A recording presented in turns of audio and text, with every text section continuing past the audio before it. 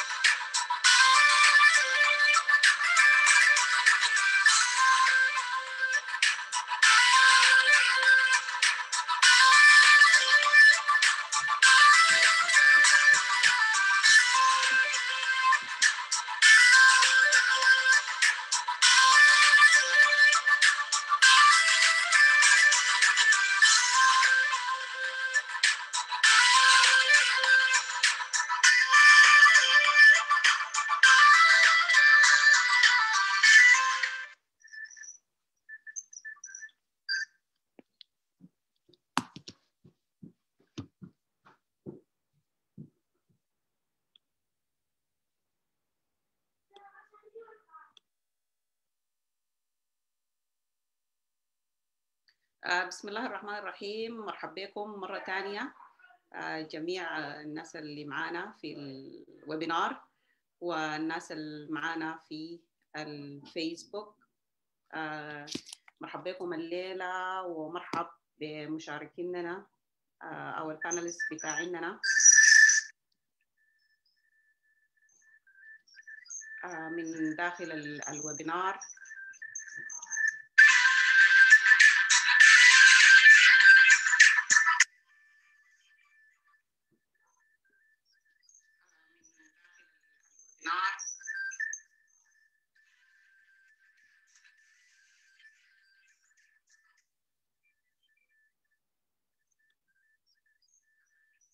نتعرف على ال panel معاي معكم نهلة عبد الله المدير التنفيذي للجمعية الطبية السودانية الأمريكية.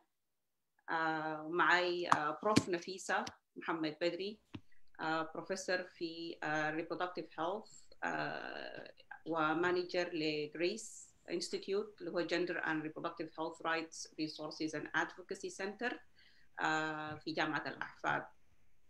معنا الأستاذة سليمة إسحاق الخليفة شريف وهي المديرة بتاعت وحدة مكافحة العنف ضد المرأة والطفل في وزارة العمل والرعاية الاجتماعية. معنا الأستاذة هاجر الشيخ اللي هي اكتيفيست في عدة مجالات في الولايات المتحدة الأمريكية ومن المناهضين في حقوق المرأة. والعنف ضد المرأة في أمريكا. وهاجر كان عندها دور كبير جدا في الانتخابات الأمريكية فبنشكرها على مجهوداتها. ونتمنى إنه نقدر نكرر التجربة في السودان. معنا الأستاذة آلاء يونس المدير التنفيذي لجمعية سابا سودانيز أمريكان Population Affairs Association وهي جمعية خيرية أمريكية وآلاء متخصصة في ال conflict management with focus on international conflict. فمرحبا بكم جميعا وشكرا جزيلا لكم في لقائكم اليوم معنا وتشريفكم لنا في ساما ومشاركتكم معنا في الويبينار. خلفية بسيطة عن برنامج ساما لصحة الأم اللي هو ساما عندها برنامج كبير لصحة الأم والطفل بدأ من عام 2016 وحتى الآن يعني بيقوم بتدريب القابلات في جميع ربوع السودان وده جزء من الاهتمام بصحة المرأة والطفل. وفي نفس الوقت هو بيعمل women empowerment لأنه الناس اللي بندربهم هم الغابلات في السودان. فالبرنامج بقدر ما هو بيخدم صحة المرأة كمان بيعمل يعني بيدي المرأة سكيلز لممارسة عملها وبالتالي يعني بيديها مصدر بتاع رزق بيديها مصدر بتاع قوة في المجتمع بتاعها اللي هي عايشة فيه. ومن خلال البرنامج ده في السنة اللي فاتت في 2019 بدينا نعمل شغل بتاع التوعية بتاع جندر بيس فالنس في المدارس في السودان. وكان السنة اللي فاتت الصورة اللي شفتوها قبل شوية دي هي من من البرنامج بتاع التوعية اللي اتعمل في مدرستين في الخرطوم. واحدة فيهم في المعسكر بتاع مايو اللي هو معروف مع معسكر بتاع اللاجئين واستعنا ببعض المختصين في المجال لدروس وتوعية للبنات في المرحلة الثانوي فبالبرنامج ده اعتبر يعني بالنشاط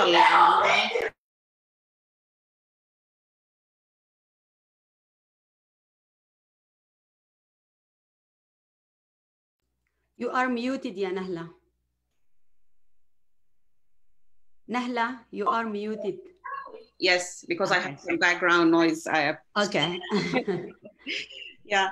So البرنامج زي ما قلت لكم برنامج بتاع التوعية لطالبات المدارس في الثانوي وعملناه في 2019 وكان عندنا يعني لسه جهود في إنه نعمل برنامج بتاع توعية السنة دي بالتعاون مع جامعة الأحفاد وحتشوفوا البرنامج ده في الأسبوع الجاي إن شاء الله حيكون في ويبينار تاني منظماه جامعة الأحفاد بمشاركة سامة. فنحن من خلال البرامج ده عايزين نزيد التوعية بتاعت المجتمعية عموما وللناس المختصين ونح يعني نوعي الناس ونرفع درجة الوعي بالحاصل بالذات في ال reproductive health اللي هو صحة الأم والطفل. فأفتكر معانا أستاذة سليمة. سليمة معانا؟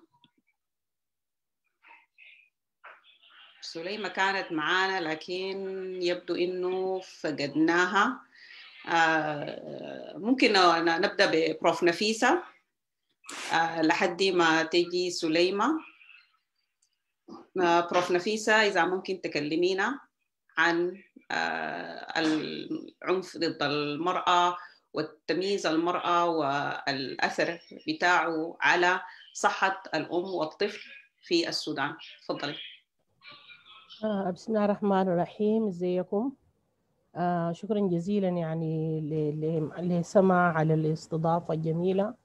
آه خاصة الأيام دي كل العالم بيتكلم عن ال 16 days of activism آه ضد كل أنواع العنف ضد المرأة والبنت. آه طبعا السودان ما مختلف من البلدان العالم الثانية في أنه هو واحدة من البلدان اللي بتعاني من المشكلة دي وعندها أثر كبير جدا جدا مش بس على المرأة لكن حتى على البنت وهي صغيرة وعلى المرأة حتى في سن الإنجاب وما بعد سن الإنجاب.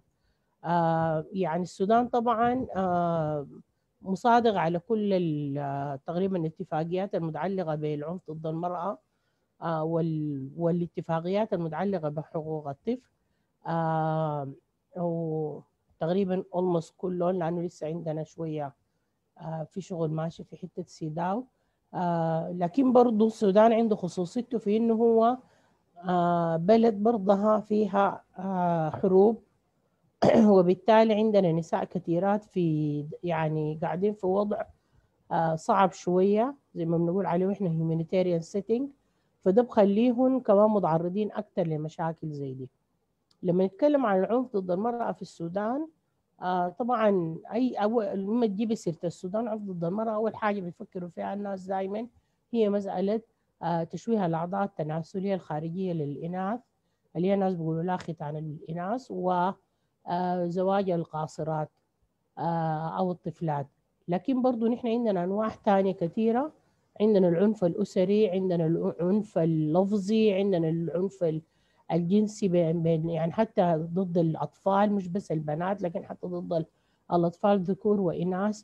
آه عندنا العنف الاجتماعي أو العنف السياسي كله موجود. فنحن ما مختلفين من العالم. بس المشكلة إنه آه السودان لسه الرياكشن بتاع الناس المسألة دي للمجتمع المسألة دي شوية يعني فيه تحفظ كثير زي تحفظ المجتمع على مسألة الصحة الإنجابية. أول ما ظهرت فكرة الصحة الإنجابية. المجتمع كان بيفتكر إنه الصحة الإنجابية دي فكرة منها إنه هم؟ دس الناس دايرين العالم الخارجي داير يعني يغزو الأفكار التقليدية اللي عندنا والمجتمع المحافظ بتاعنا ويدينا أفكار جديدة. آه لكن في النهاية هو كل الحصل إنه فكرة الصحة الإنجابية هي الغرض منها إنه نحن نمرق التركيز أو نزيد التركيز بدل ما يكون بس على الأم والطفل نركز على الناس التانيين اللي هم في سن الإنجاب وعندهم مشاكل تانية زي الشباب زي المراهقين أو اليافعين آه زي النساء ما بعد سن الإنجاب زي الناس اللي ما عندهم القدرة إنهم ينجبوا زي النساء العايزات آه يبعدن ولادة أو ينظمن أسرة لكن ما قادرين يلقوا يتحصلوا على أنواع تنظيم الأسرة. والناس اللي عندهم مشاكل بتاعت كانسر وما فيها المسألة بتاعت العنف ضد المرأة لأنه عنده عنده علاقة مباشرة بالصحة الإنجابية. آه وممكن يعني آه كل واحد فيهم عنده تأثير على جانب من جوانب الصحة الإنجابية تحت الأم وتحت البيت آه وممكن حتى الراجل برضه لأنه في في ظل الحروب وفي ظل ال ال ال ال ال ال الصراعات للأسف إنه العنف الجنسي والعنف الجسدي بيستخدم كأداة من أدوات الحرب. والعنف الجنسي طبعا عنده تأثير ما بينتهي آه بس بمسألة بتاعت إنه نحن ندي حبوب ولا ندي دواء ولا نعمل counseling ممكن يستمر for life يعني واحد ممكن يكون عايش عمره كله هو عنده عقدة من من المسائل دي. وده بخليه في النهاية بيكون غير قادر إنه ينجب ويبقى أبو لأطفال. فالمسألة يعني ممتدة ونحن ما بننسى طبعا إنه الراجل برضه عنده صحة إنجابية وضم تضمن برضه داخل مفاهيم الصحة الإنجابية. السودان طبعا من البلدان اللي عندها زي ما أنا قلت قبل شوية غير المشاكل الاجتماعية. إن نحن عندنا نظام صحي متهالك يعني للأسف إنه يعني الحكومة الحالية ورثت نظام صحي متهالك خلى كل القضايا وانت تكلمتي قبل عن مزال التدريب القابلات يعني للأسف إحنا لسه بلد عندها وفيات أمهات لسه عندنا وفيات رضع لسه عندنا عدد كبير جدا من الشباب واليافعين اللي هم آه حتى ممكن نقول حتى لو قلنا جوا منظومة الزواج لو دارين نقول إحنا والله ما دارين ندي الناس اللي ما متزوجين تنظيم أسرة وده شو تاني آه حتى المتزوجين منهم ما قادرين يتحصلوا على تنظيم الأسرة لأنه ما مهيئة لكل الأعمار دي مهيئة لعمر معين ول يعني. في في ستوريوتايبنج كده أنت لازم تكوني مرة كبيرة ومحنن عشان أنا أديكي تنظيم أسرة آه وعندنا طبعا مشاكل بتاعت إجهاض مشاكل بتاعت خدمة ما بعد الإجهاض عندنا مشاكل متعلقة بالاكسس ذاته بتاع المراه ذات المزوجة اللي أنا قلتها قبل شوية دي لتنظيم الأسرة ف وطبعا أعلاهم هي وفيات الأمهات. واحدة برضو من المشاكل الثانية عندنا في السودان عندنا الناسور آه البولي والناسور الشرعي اللي هو يعني زي ما إحنا بنقول عليه دائما هو أكثر حاجة بتعكس آه فشل النظام الصحي في إنه يقدم خدمة on time للمرأة اللي بتستحقها لأنه نتيجة بسيطة جدا لتأخر حصول المرأة للخدمات الصحية في أثناء فترة الولادة. آه بسبب إنه الولادة بتاخذ فترة طويلة هي قاعدة في حتة بعيدة ما في قابله مدربه آه وصلت المستشفى ما في زول يشتغل بيها ما لقوا قروش. الراجل ما ظهر عشان يسوق يوديها المستشفى وبالتالي استمر الطفل ضاغط لحد ما يحصل لها ناسور. ودي طبعا بالنسبة لنا في السودان ال waiting list خرافية جدا يعني ranges بين ثلاثة لعشر سنين. آه ودي قضية دائما مسكوت عنها والناس ما قاعدين يتكلموا عنها كثير. ده النساء يعني يعني حياتهم بتنتهي مع وجود الناسور فيعني معلش المسألة كلها بتاعت الصحة الإنجابية والعنف ضد المرأة مسألة مظلمة. لكن في ظل الظلام ده برضو في حاجات جميلة حاصلة. يعني الحمد لله إن السودان أخيرا طلع قانون قومي يجرم ممارسة تشويه العضلات تشويه العضلات التناسلية الخارجية للأنثى. آه والحمد لله هسه بقى في كيس كمان موجود في في المحكمة.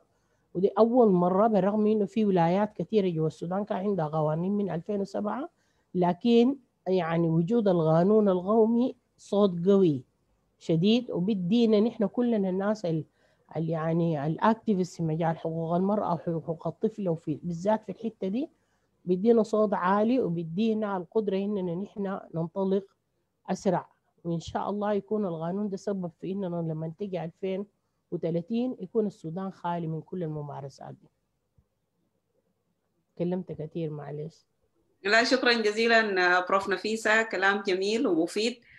آه ويعني كويس إنك ألقيت الضوء على العنف إنه ما هو ضد المرأة بس لكن ضد الرجل برضه والحاجات المشاكل اللي بيتعرض لها الرجل في المجتمع. آه برضو من الحاجات اللي ممكن يعني نضيفة إنه العنف آه ما لازم يكون جسدي ما لازم يكون لفظي لكنه هو عنف مجتمعي. العنف المجتمعي ممكن يكون أقسى مرات من العنف أنواع العنف الثانية يعني. لأنه المجتمع بتاعنا آه بحكم الترابط بتاعه وبحكم السوشياليزم بتاعتنا يعني بصورة عامة الناس بتهتم ببعض و... ودي مرات بتؤدي لمضايقات يعني في الم... للفرد. خاصة الشباب الصغار ما بيستحملوا الأسئلة الكثيرة من أفراد الأسرة المختلفين. آه يعني مثلا الأجيال القديمة الناس كانت بتعيش في الحوش الكبير في البيت الكبير. آه كل الأسرة عندها دخل في إنك تعرس 200 وتنجب 200 وتجيب ولد ولا تجيب بت وتسميهم منو فدي كلها أنواع من ال pressure يعني واللي هي هسي لو جينا صنفناها تصنيف علمي بتدخل داخل التصنيف بتاع العنف يعني. آه لأنه ال pressure ده في كثير من الأحيان الناس ما بتقدر تتعامل معاه ما في له علاج الناس ما بتطرق أبواب العلاج أصلا ما عندها وعي كافي بأنه في أنواع بتاعت علاج موجودة اللي هي من ضمنها ال counseling ومن ضمنها ال therapy آه فيا ريت لو هاجر تلقي لنا الضوء. على النقاط دي آه من ناحية من خبرتك سواء كان في أمريكا أو في السودان. تفضلي. أول حاجة شكرا لكم كثير على المجهود اللي بتقوموا به ده وشكرا لكم أستاذتنا أستاذة نفيسة على المجهود العظيم جدا جدا. آه يعني طبعا ممكن نقعد نتكلم عن العنف هو شنو لحد بكرة. لكن آه أنا بحب أتكلم عن التجارب اللي مرينا بها والتجارب اللي أنا مريت بها في مع معنفات هنا مثلا في أمريكا ولا في السودان. أول حاجة أنا اسمي هاجر آه سيد أحمد الشيخ. آه كنت ناشطة ومتحدثة باسم الجبهة الديمقراطية في السودان. آه تعرضت لتعذيب كثير جدا واحتقالات آه في السودان. وبعدها جيت لاجئة هنا لأمريكا. دي واحدة من بدايات العنف ضد المرأة لما كنا بنطلع مظاهرات بتسمع ألفاظ اللي هو أنت ذكرتيها هسه يا نهله إنه العنف ما بس جسدي آه طالعين ل من من أي لفظ بيتقال لاي وحده آه ناشطة أو بتحاول تعمل تغيير في الواقع حولها.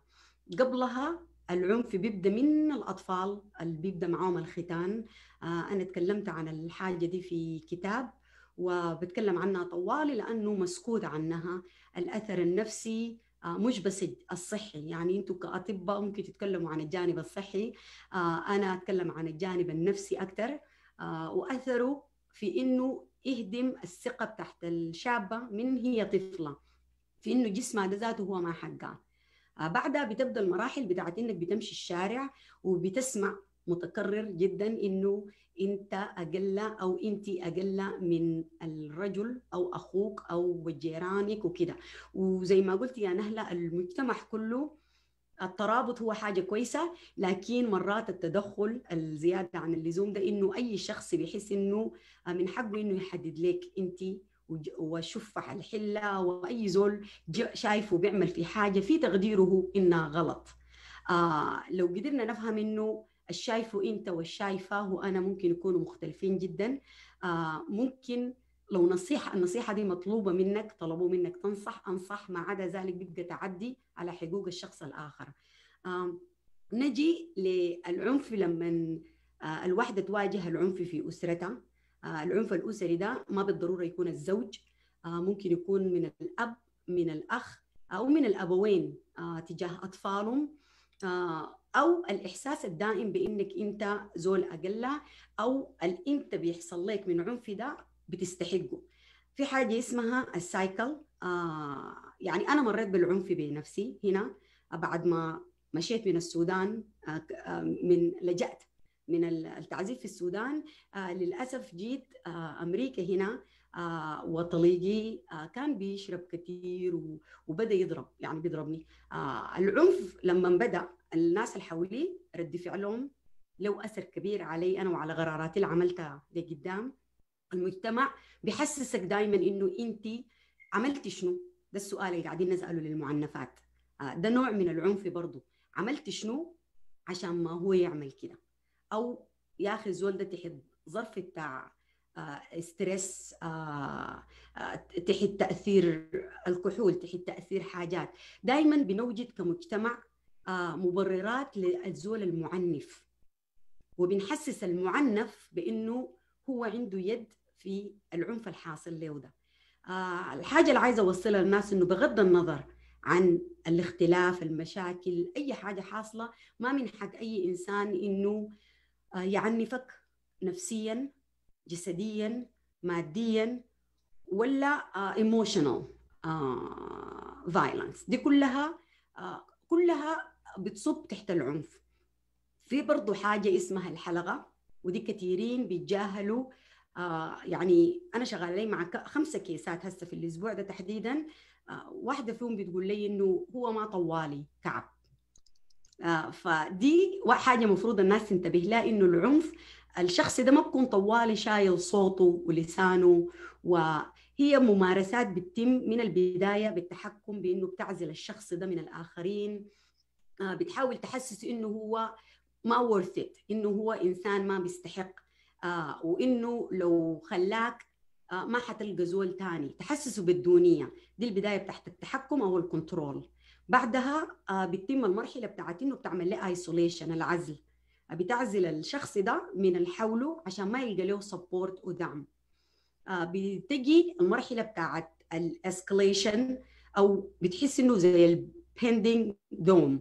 إنه في حاجة حتحصل. أنت حاسة إنه الزول ده حيعمل حاجة أو حاسي إنه إنه الزولة دي حتعمل حاجة آه وبعد ذاك بيقوم بيحصل الانفجار. بيتم العنف آه بعده بتجي المرحلة بتاعة ال honeymoon اللي هي مرحلة بتاعة الشخص المعنف ده. بيجي بيعتذر آه بيجي بيبكي يقول لك أنا حأصلح حأغير أو.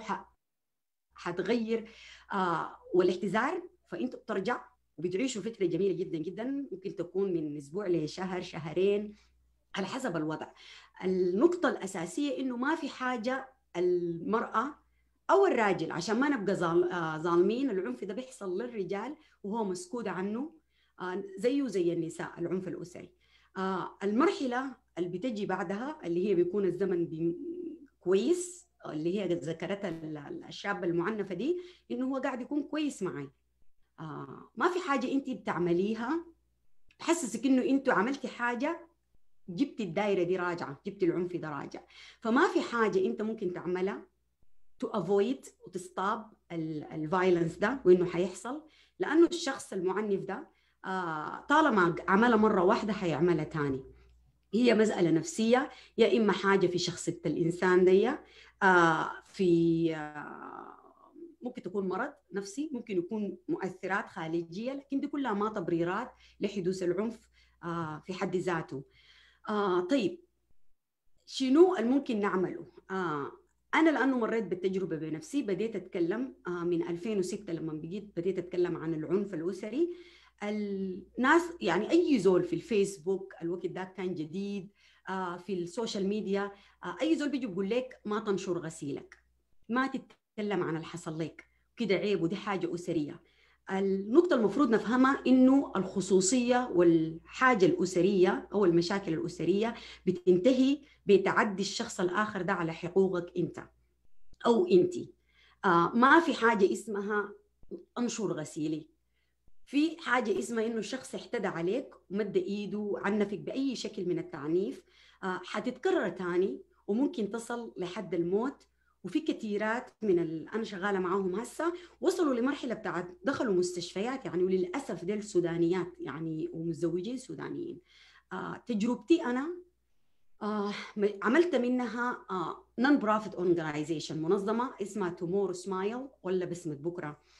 شغالة بها توعية motivational آه speech آه بتكلم في جامعات حولي هنا في ال community بوصل بعمل link للمعنفات بجهات تساعدهم لو كان shelter آه بعدها آه بعدها بعد ما عملت ال organization آه بقيت متعاونة مع ال domestic violence coalition عندنا هنا في آه المنطقة بتاعتنا في ولايتنا آه بعد ذاك عمل لنا تدريب وبقيت بعمل ال call آه لكل الولايات لو في آه زوله بتتكلم عربي الإنجليزي بتاعها ما كويس. فبيتصلوا بي بعمل ترجمة معاهم للمحامين وبوصلهم للجهات وال shelters وكده. فدي بالنسبة لي أنا استخدمت تجربتي أنا الخاصة بإن أجاوب على الأسئلة اللي ممكن تجي في راسين الناس أول حاجة. إنه ليه قعدتي؟ وإنه هل الزول ده ممكن يتغير؟ ودي كلها بقدر أقول من تجربة لو خاصة أو من تجربة شغلي في المجال ده المعنف ما بيتغ... يعني ما حيحصل تغيير. ممكن تحاولي تديه فرص زي ما انت بتفتكري آه لكن ما حيحصل تغيير. حتفقدي حياتك. دي نقطة. النقطة الثانية لو في أطفال موجودين في العلاقة دي أنت بتعملي لهم نورماليزيشن آه للعنف. بتحز... بتوصلي لهم فكرة بتاعت إنه آه يمكن إن أنت تهاني تتضربي يحصل لك أي شيء وتستحملي وتكوني قاعدة. بنفس المستوى الولد بتوصلي له فكرة إنه السلوك ده سلوك عادي وإنه ممكن يجي يطبقه بعد ذاك فدي حلقة بنسميها الحلقة الشريرة ال vicious cycle لو ما اتكسرت آه العنف ما حينتهي. أول حاجة.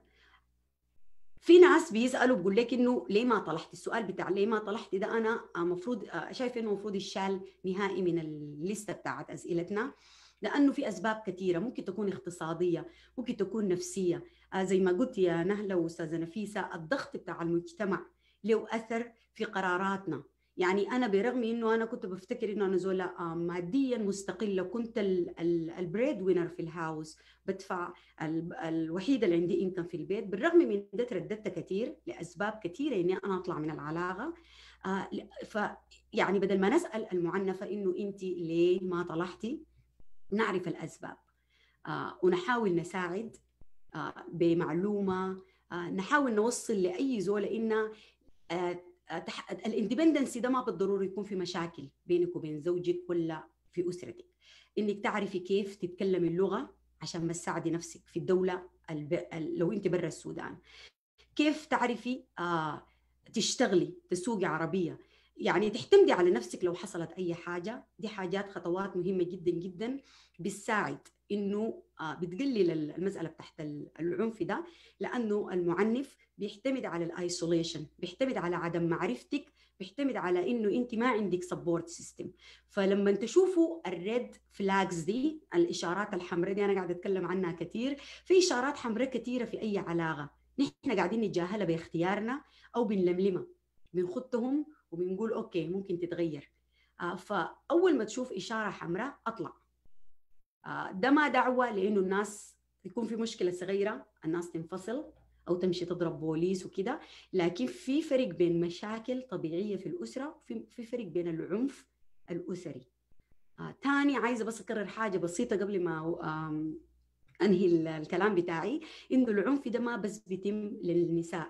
آه في رجال كتار جدا جدا معنفين لكن لأنه المجتمع آه بيفتكر إنه الراجل ده من المفترض ما يبكي ما يشكي عنده مقدرات آه يرد.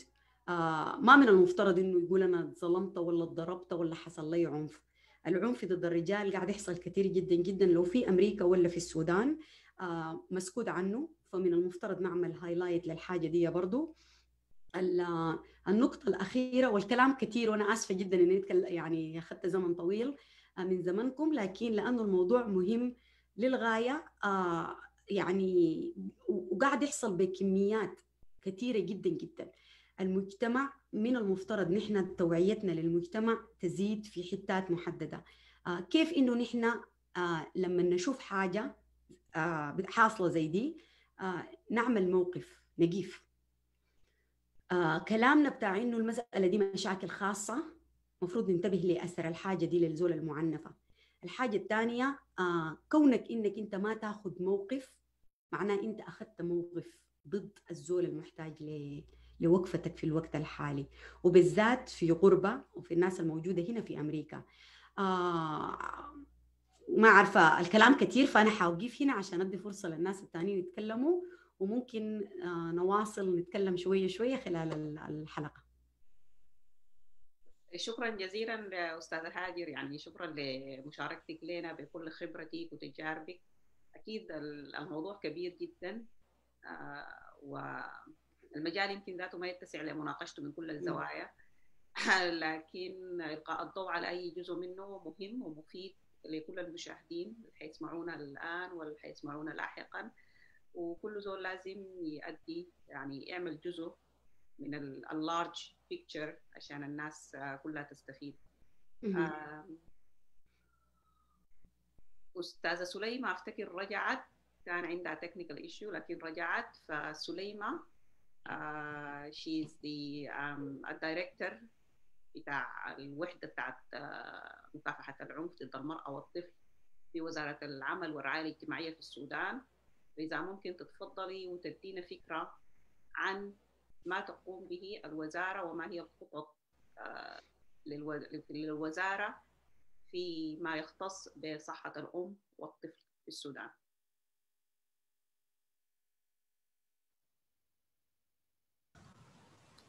طيب. آه سلامات جميعا.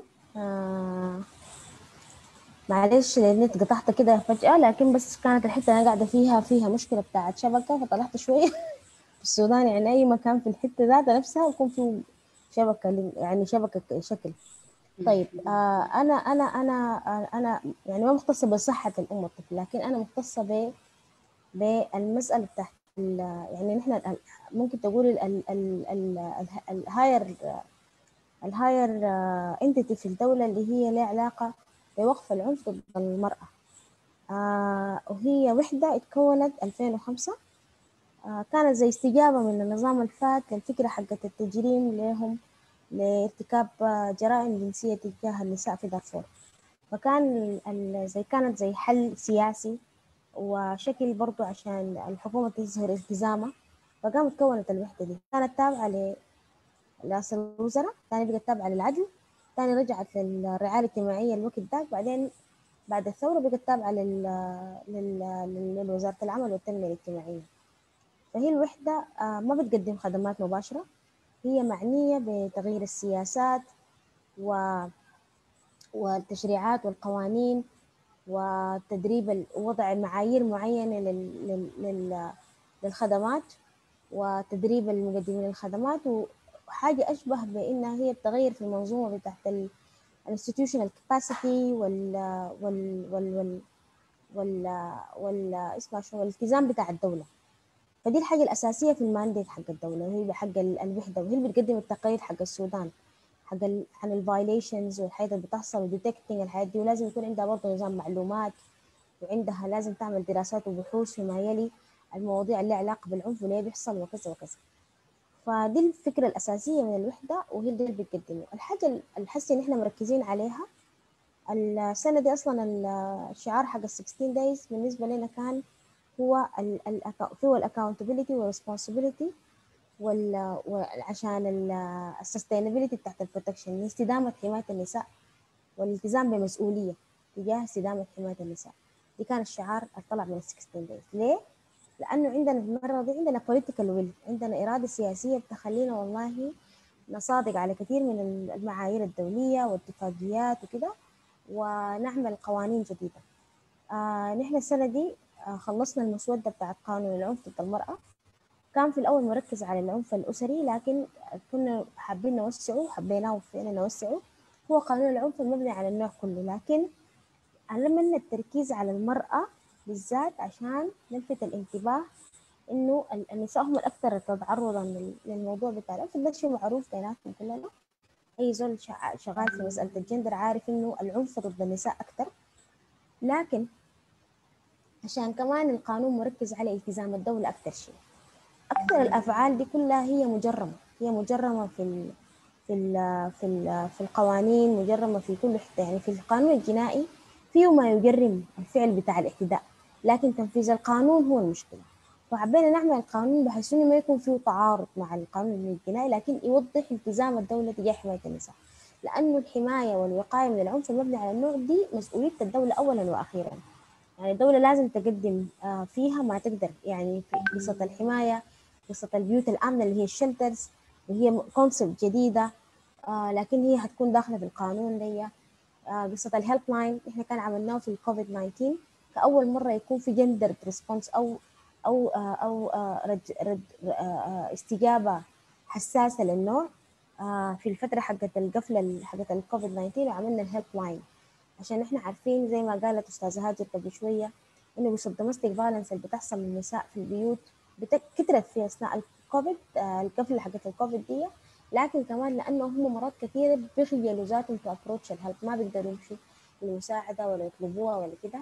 بالنسبة لهم بتكون حاجز كبير جدا في إنهم يمشوا يطلبوا المساعدة من الناس أو أو أو يبلغوا.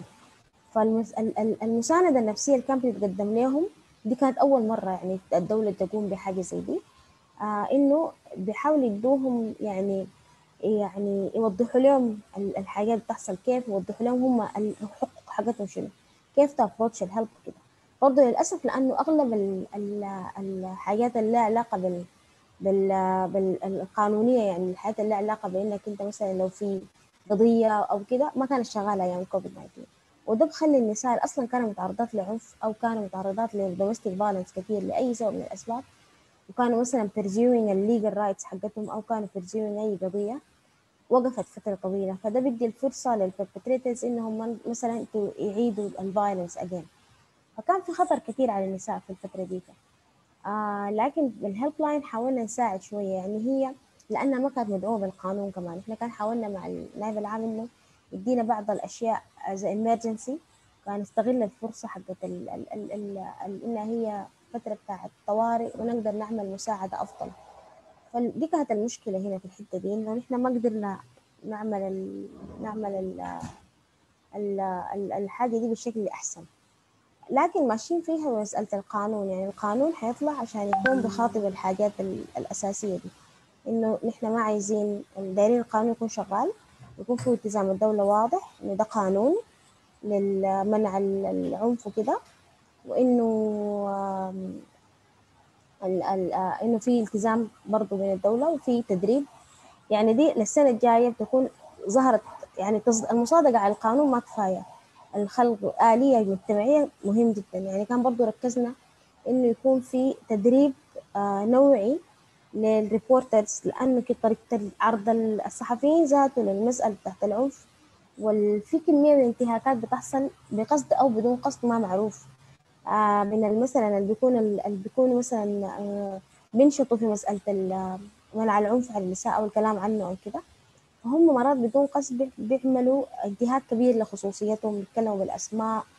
آه بيخلوا الفكرة حقت ال survivor تطلع من فكرتها. يعني إحنا نحاول الفلسفة حقت إنه النساء بعد يطلعوا من تجربة العنف يكونوا surviving يكونوا ناجيات.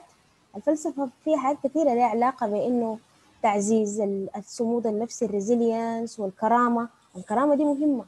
فأنت لما تقوم تخليهم victimized تخليهم في موضع الضحية للأبد عشان أنت عايز تساعدهم أو تساعديهم بوجهة نظرك بوجهة نظرك أنت اللي بتشوفها بحلولك أنت اللي بتشوفها. ما في حاجة اسمها الفلسفة حقت ال survivor based solutions دي؟ ما في.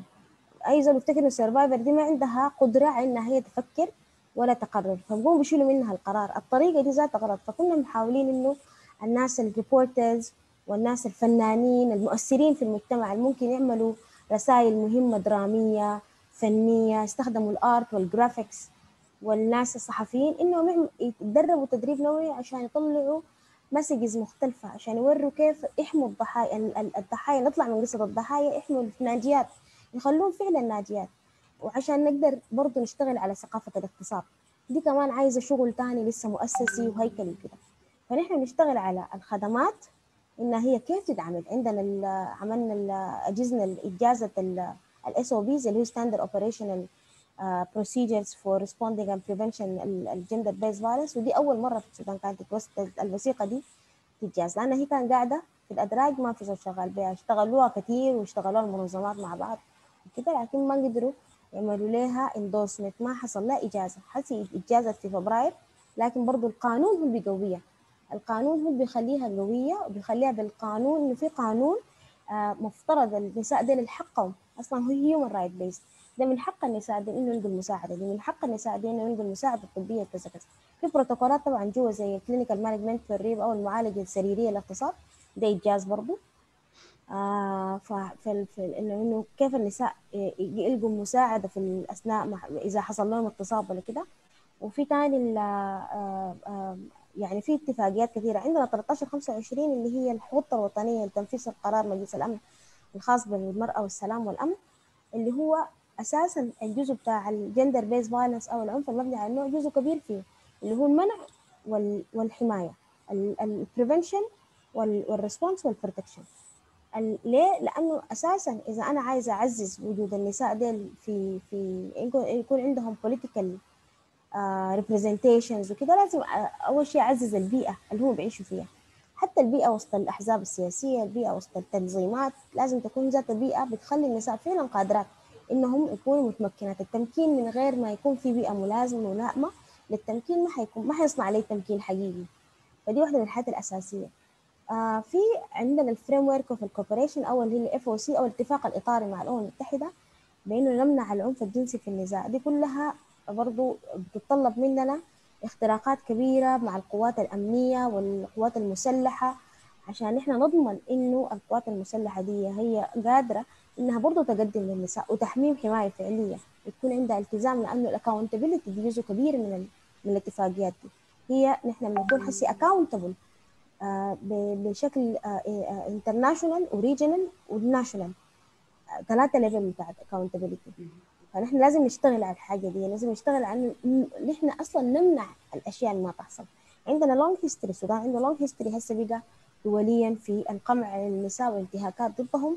والاستخدام العنف الجنسي كسلاح في مناطق النزاع وكسلاح في حتات كثيرة عشان تحجيمه وتحجيم رايهم فإحنا عشان نحارب ثقافة الاغتصاب دي لازم كمان نشتغل على ال institutions كلها لازم نشتغل على الهياكل حقت الدولة. لازم نخلي الدولة فعلا ملتزمة بهياكلها المختلفة ما بس القوات النظامية والشرطة كمان الأطباء لأنه حتى الطريقة حقت المعاملة حقت ال victims وال survivors وديل اللي بتخليهم من victimized ل survivor هي عندها علاقة بأنها هي لازم يكون في تدريب ولا كيف تدمج الحاجة دي في تدريب الأطباء من البداية يكون في التعليم الطبي إنه كيف هم بيتعاملوا مع الناجيات من الاغتصاب كيف بيكشفوا كيف بيعملوا reporting لأنه ال report حقهم قاعد يساعد كثير جدا في ال legal. ودايرين نزيد كمان ال access لل justice عندنا مشكلة كمان في السودان أساسية حقت الاستجما مع ال مع ال مع العدالة. ودي ما عندها علاقة بالتعليم يعني تلقى زول متعلم يمكن يقول لك نحن بنخش أقسام. آه نحن ما بنمشي نشهد في المحاكم. يعني هي كمان حتى لو أنت ما متهم. الشهادة دي ذاتها في ناس بيكونوا عايزين يطلعوها. وأنا جربتها كثير في مسائل بنمشي نشتغل في في مسائل العنف الجنسي على الأطفال كان فبنكون مثلا بنقدم شهادة الخبير النفسي. فبتيجي تلقي شاهد ما عايز يمشي. لأنه والله آه ما بنشهد في المحاكم. وهي معنا شهادة هي ما فيها اتهام أو مشكلة عليه ولا في أي liabilities لكن عندنا مشكلة نحن في التعامل مع العدالة. آه لازم نحن نزيد ال access للعدالة. القانون نفسه معه آلية مجتمعية. أي قانون بخص المرأة بخص الأسرة بخص الحاجة دي لازم يكون في آلية مجتمعية. لكن هذه الآلية المجتمعية تشوف المصلحة الفضلى للنساء أول حاجة. حتى بعد ذاك تشتغل على اي شيء إحنا عارفين إنه ما كل الناس عايزين يخشوا المحاكم عايزين يخشوا. لكن at least مبدأ الشكوى وال reporting للبوليس مهم. إذا بداوا الناس حلت المسألة في القسم مثلا لكن يكون ما دام الخدمة تقدمت كيف فيها امتهان للكرامة للنساء فيها كده دي بتكون أصلا ما اليه نافعة. فلازم نحط لها معايير بحيث انها هي تكون فعلا بتراعي المصلحة الفضلى للنساء وتديهم القرار. وفي النهاية إذا المرأة ما عايزة تمشي legal تمشي ت pursue ال legal rights حقتها أنا ما حقدر أجبرها. لكن لازم أوريها عليها ولازم تعرف آه أنا ما بقدر حسي أبلغ لزول adult لكن لازم أساعده. في الحتة حقت ال social responsibility اللي هي بتكون مهمة جدا جدا من المجتمع حوالينا. الناس ما تجيف تتفرج. يعني قصة ال bystander أو الزول المتفرج على العنف قدامه لازم تطلع من الحتة دي. يعني لازم نطلع من إنه نحن ما نجيف متفرجين لأنه مرات في جزء من ال responsibility بتقع عليك في في المجتمع. أنت المجتمع ده كلنا مسؤولين من تماسكه. إذا لقينا حاجة زي دي قدامنا لازم نتدخل. يعني الناس لازم تكون في حتة زي برضه في التوعية شغالين على قصة إنه إن الحاجة ما تجيف عندك ما تجيف تتفرج. يعني لازم تخش لازم تتدخل إنه هي مسؤولية الجميع. هاي ال ال الشرطة مسؤولة الأطباء مسؤولين مقدمي الخدمات كلهم مختلفين مسؤولين. لا والدولة مسؤولة لكن أنت كمان كمواطن ومواطنة ما تكونوا تجيفوا ساكت لازم تدوا الحتة حقت الكوفيد برضو منعتنا شديد من قصة إنه نستفيد من وجود برامج ال civic education اللي ممكن تكون ال civic engagement اللي بتكون في الجامعات لأنها هي مفيدة جدا جدا جدا في قصة التوعية. الجامعات والمدارس بتوفر social capital أو رأس مال بشري مهم جدا جدا من الشباب اللي ممكن فعلا يحدثوا تغيير. أنت لما تعمل positive change بتبدأ من الناس من صغار عشان هم قادرين يستوعبوا التغيير ده وقادرين يتصرفوا. لأنه مرات بتلقى الانماط ذاتها حقت العنف بمارسوها ناس صغار لأنهم ده شافوه قدامهم. it's sad يعني إنه ديل الشباب اللي إحنا هم الأغلبية في في السكان ونحن معتمدين عليهم في حاجة كده تكون حاجة حزينة جدا إذا هم نفسهم ماشيين بنفس الثقافة دي حقت العنف ودي يفتكروها حاجة طبيعية وإنه دي يعني زي جزء من تركيبتهم لأنه أصلا ال ال ال ال الصورة النمطية للنساء إنه النساء منمطات على إنهم يكونوا خاضعات والرجال أقوياء أو العنف ده جزء من التركيبة حقتهم النمطية الناس بتقبلوا منهم. ف- فالثقافة دي بتتغير برضه بانه نحن نكون في أكثر شيء شغل بتاع civic engagement ده كله مذكور في الخطة الوطنية 1325 لتنفيذ القرار 1325 لأنه الشغل مع الجامعات والمدارس وفي المناهج التعليمية مهم جدا جدا عشان نطلع أجيال أفضل قادرة بشكل أفضل تكون عندها فهم مختلف. الفكرة حقت القانون تبقى أقرب للجميع إنه الناس ما تتهيب إنها هي تبلغ ال help line هيساعد لأنه ال help line ده برضه نحن ماشيين بال- بإنه يكون خط موحد برقم واحد سهل آه ولما يكون مدعوم بالقانون أكيد بي- بيعمل التبليغ مباشرة يعني على حسب رغبة ال- الشخص المبلغ. ما زي حق الأطفال. في الأطفال أنا لو لأنه حق الأطفال حق عام. في أي وقت أنا شفت حاجة ما عجبتني بقدر أبلغ لأنه ده ده ال rights حقت الأطفال. لكن زول adult لازم يكون في في في قانون مثلا بيسري عشان يخلي شخص تاني يبلغ عنه لو حصل له مشكلة. ده باختصار الحاجات اللي إحنا شغالين عليها هسه. والمسودة حقت القانون حتخضع برضه هي طلعت لكن تخضع للتشاور. آه لأنه ما ممكن تكون في entity واحدة بتقرر إن ده القانون اللي حيسري على السودان كله. ونحن عارفين نحن ال complexities حقتنا حقت السودان. آه فلازم الناس في الولايات وكده يكونوا برضه aware بالموضوع ويدونا رأيهم لأنهم في واحدين عندهم تجربة أحسن. آه وعندهم احتكاك أفضل. وعندهم مثلا ممكن يكون في الحاجات اللي عندها مسار نقاش أو مسار جدل يكون عندهم حلول أفضل فيها. فمهم التشاور برضو عشان ال owner يعني منفذين القانون لازم يكونوا جزء من التشاور بشكل كبير لأنه هم اللي حينفذوا القانون ده. ال ownership مهمة. دي الحاجة يفتقدوها الناس في السودان في قصة إنه لما تيجي تبني ال capacity حقتهم. ال- ال- ال- ال- القصة إنك أنت خبير في حياة الناس دي بقت مشكلة كبيرة. الناس لازم تجيب وتغير ال momentum حقت حاجاتها دي وتخلي الناس خبيرة في حياتها وتدي رايه وتعمل تشاور صحيح عشان ده اللي بيديك ال result الحقيقيه عندنا برضو الشغل حق ال research يعني من السنة الجاية الناس هتبدأ لأنه السنة دي كانت أصلا جاية لكن خلاص بعد الناس اتعودت هسه على الكوفيد انه هو باقي نحن ما عارفين حلوله متين فالناس بعد ذاك لازم تعمل آه، تكيف ظروفها على وضع الكوفيد. آه صح خلينا التجمعات وكده لكن في حاجات لازم تتنفذ ما حنقدر نقيف عشان والله ال ال ال ال ال الكوفيد منتشر وكده. في أي بالقدرة حقتنا البسيطة بنقدر نوصل أي حاجة طريقة بتاعت توصل معلومة أو تشاور أو كده حتمشي في محلها ما حنجيف ثاني آه ولأنه فعلا بدينا خلاص إنه ما نجيف. يعني رغم انه الموجة الجديدة دي كان هي اجريسيف جدا جدا. آه فالمسألة حقت حملات التوعية مستمرة. في المسألة تحت البحث برضو حتكون مستمرة للسنة الجاية وحد في بحوث يعني هسه بدت اللي هي Voices of السودان أو أصوات السودان اللي أخذت من كل الناس الرجال والنساء بشكل متساوي بحيث ناخذ من من من أعمار مختلفة من ولايات مختلفة. إنهم رأيهم في أكثر أنواع العنف شنو دي هو دراسة qualitative qualitative لما تجي الجزء الجزء برضه عايزين نمشي على الجزء ال quantitative يكون في عندنا survey لأنه أكثر حاجة ما مخليانا نكون يعني قادرين إنه نعمل حاجات فعلا result result oriented إنه ما في بحوث أصلا في المواضيع دي. بحوث بسيطة scattered هنا وهناك mapping scattered هنا وهناك ما بتستفيد منه حاجة. لكن مهم يكون في بحث آه، يكون قاعد و documented ويوري نوع الانتهاكات اللي بتحصل في السودان شكلها شنو والناس واعماره وتحصل وين أكتر حتة. عشان دي برضه بتديك خارطة الطريق إنك حتمشي بيها تجيها هتشتغل كيف. آه لكن ما في حاجة بتقيف الناس شغالة في الموضوع في نفس ال... بنفس الطريقة دي بنفس الحاجات حقتها. في حاجات أساسية ثوابت اللي هو قلتها الشغل حق القانون والتشريعات وبنستفيد طبعا من كل المصادقات. يعني مصادقة على منبوتو وسيداو أكيد حيعملوا فرق كبير.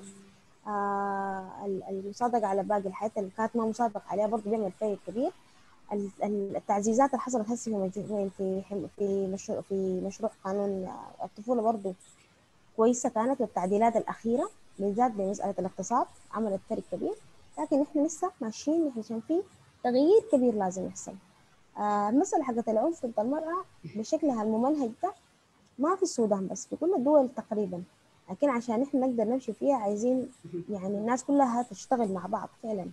عشان تقدر والله تغير في ال institutional capacities تخلي فعلا الدولة قادرة على إنها هي تنفذ ال- ال- الفكرة حقت الحماية وكده. آه، أفتكر أخذت كلام كتير شديد. أنا بتكلم كتير. فادي فرصة للناس تسأل وكده وأنا بجيب هنا. شكرا أستاذة سليمة. آه فعلا يعني الكلام يعني جميل وشيق ومفيد وكان فيه نقاط كثيرة يعني بتلقي الضوء على تساؤلات لنا كلنا إنه الناس يعني الدولة بتعمل في شنو. فيبدو إنه في عمل كبير جدا.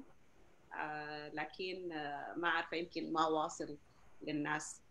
آه السو... يعني أنا ما ما عايزة أسأل سؤال هسي عايزين نخلص أول عشان الزمن. آه نسمع من آلاء وبعدين نشوف الأسئلة. آه أي زول عنده سؤال ممكن يكتبه في الشات وبعد ذاك أو يرفع يده بعد ما آلاء تخلص وبعد ذاك نديه فرصة إنه يتكلم. تفضل يا آلاء. Shukran. Wassalamu alaikum. Welcome, everyone. Um, I want to thank you all in advance, Asha, and I'm going to speak in to be able to articulate myself uh, in the way and be able to deliver the material and that this next few minutes is going to be completely in English. Um, but thank you, Dr. Nahla, um, Professor Nafisa Hajir, Dr. Salema. This was all amazing, yani, just information and things that we all need to hear about and one of the common things that you all said was, you know, that uh, apologies for this being too long, like in uh, this information it, it, can never, an hour is never enough time, a week is never enough time. Um, there's a plethora of information on gender-based violence. Um, like, I want to give it from the, the lens of gender and conflict. Um, as Dr. Nahla said, my background is in conflict management. Um, I was born in Sudan, like in Atlanta, Georgia. Um, I was always very intrigued about learning about conflict and not just how it affects the populations, but the peace and reconciliation part of it. Um, so I went on to get my master's in conflict management. Um, and so today I want to do a short presentation. I promise um, four slides. It'll take probably five minutes because I'm very intrigued in more so the questions that you all have. So I'm just gonna present my my screen and hopefully go into to these next few you know slides. And please you know share your questions in the in the comments as we as we go along. Uh, so can you see my screen? Everything is is good here. Perfect. Yes, can, yes. Tamam. Um, so I want to start with this first screen of what do you think of when you hear the three words gender-based violence, um, abbreviated as, G, as GBV, conflict, and reproductive health. For those that work in the field, um, I think so many words come to mind. Like in for most people, what they may be thinking when they hear gender based violence is women or rape. When they hear of conflict, they think of just war. And when they think of reproductive health, they think of maybe hospitals or babies. Um, but the issue with this blanket kind of thought on what these words mean is that we don't see how they're all interconnected. So when you think of gender based violence and you only think of women, that includes all the victims. Um, as we've heard before from the panelists, you know, where I think we forget about, you know, the men that are in it. We forget about the perpetrators, uh, the system, the victims. And we, we see this as a one person issue or better yet, a one gender issue. When reality, this is something that affects not just uh, women, but men as well. And not only communities, but entire nations. Um, and I like to say in regards to conflict, it's something that we need to become more comfortable with. Um, and not in the sense that we need to be complacent, living in conflict ridden societies or numb to it. But when we see conflict, we should see it as an opportunity for growth.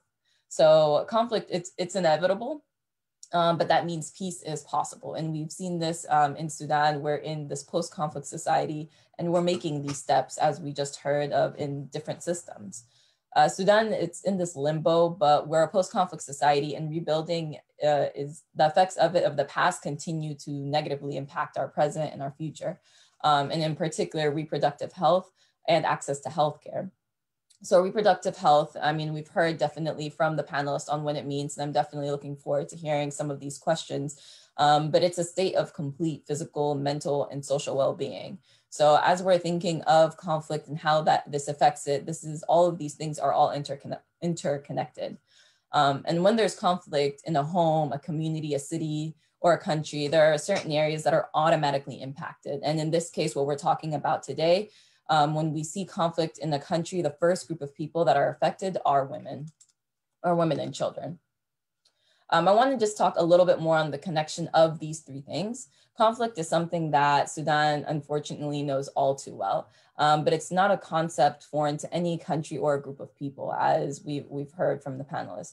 Um, the growing number of conflict conflicts, I'm sorry, the growing number of violent conflicts around the world has been accompanied by an increase in sexual violence targeting women and girls. And during conflict, women and children are the most vulnerable and the most impacted, um, especially in a post-conflict society. But women in any society should have the right to equality and non-discrimination, the right to life, the right to treatment, and the right to be free from uh, inhumane treatment or degrading treatment. And what does it mean to, to disintegrate a healthcare system? It means to break it down, to weaken it. And when this happens, it has a critical impact on reproductive health. So meaning women can't get access to healthcare providers. And in countries like Sudan, where supplies and specialties are already limited, this means that women have to decide what's critical when it comes to their health. And all of these things are critical. It's, it all matters. Um, and also, it also hinders the understanding of the rights that women and girls have. And in societies where these rights are already restricted or taboo, um, topics that you're not supposed to even ask about, it can negatively impact the health and women, um, health of women and girls, and this, this issue can become generational. So as it relates to Sudan, I want to briefly, just for the next minute or so, talk about these three areas, women and girls, healthcare system, and the environment. Um, so during the COVID-19 pandemic, as we just heard, the number of DV cases against women has increased significantly. And although the lack of information hinders data collection in Sudan and other, uh, other developing countries, um, it is proven that DV cases significantly increase when people have to stay inside, um, meaning that we're, we need to be able to address these. We need to be able to have these conversations. Um, one characteristic of gender-based violence is that it knows no social or economic boundaries and that affects women of all and girls of all socioeconomic backgrounds. So nobody is immune to this issue. Um, we need to combat this idea of we shouldn't talk about it or it's eh, yani this is something that needs to be discussed at in every family, in every household. Make this conversation a part of your everyday talk. Um, in regards to you know the healthcare system, we need to rebuild Sudan's healthcare system and increase access to um, healthcare services. People shouldn't have to wait weeks to get care, uh, get care in unsanitized facilities, or have to make the decision of is this important or is this not important. Um, and finally, in regards to the environment, and what I mean by this is the years of oppression um, that has caused the toxic environment that's negatively impacting women and girls. We're in the time of rebuilding, and it's it's amazing. I mean, we we just heard about all of the things that people are doing, not only in Sudan, outside of Sudan, across the diaspora, but this means that rebuilding, we need to rebuild from the inside out.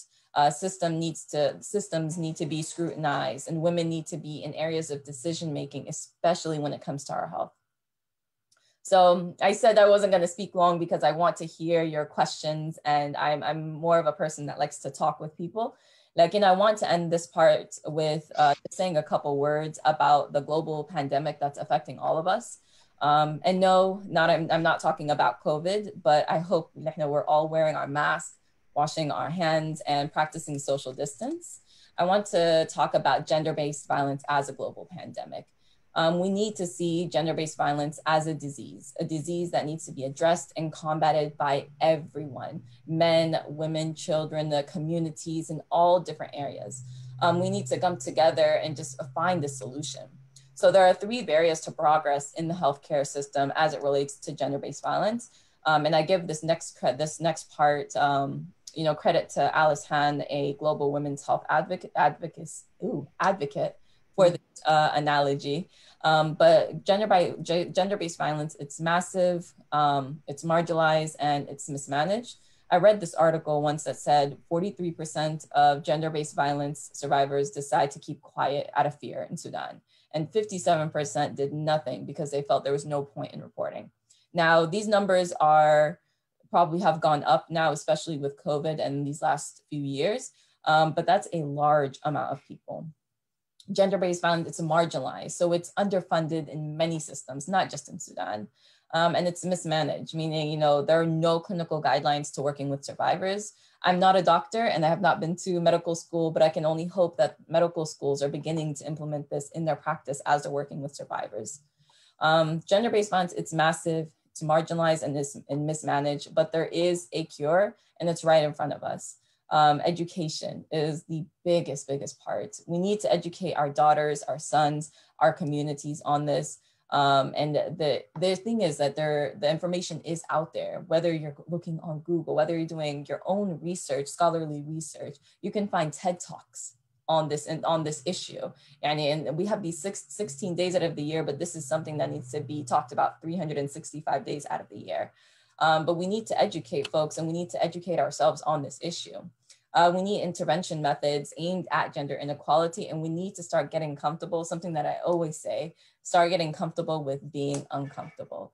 Um, I think this is a, a, a, conversation that many of us, we don't want to, to share, we don't want to talk about because we're fear, it's just the fear of the unknown or the, the backlash, but it's something that we need to be able to talk about openly um, and to reach out to professionals that are in the field of gender-based violence, of the medical field and policies um, to make this change.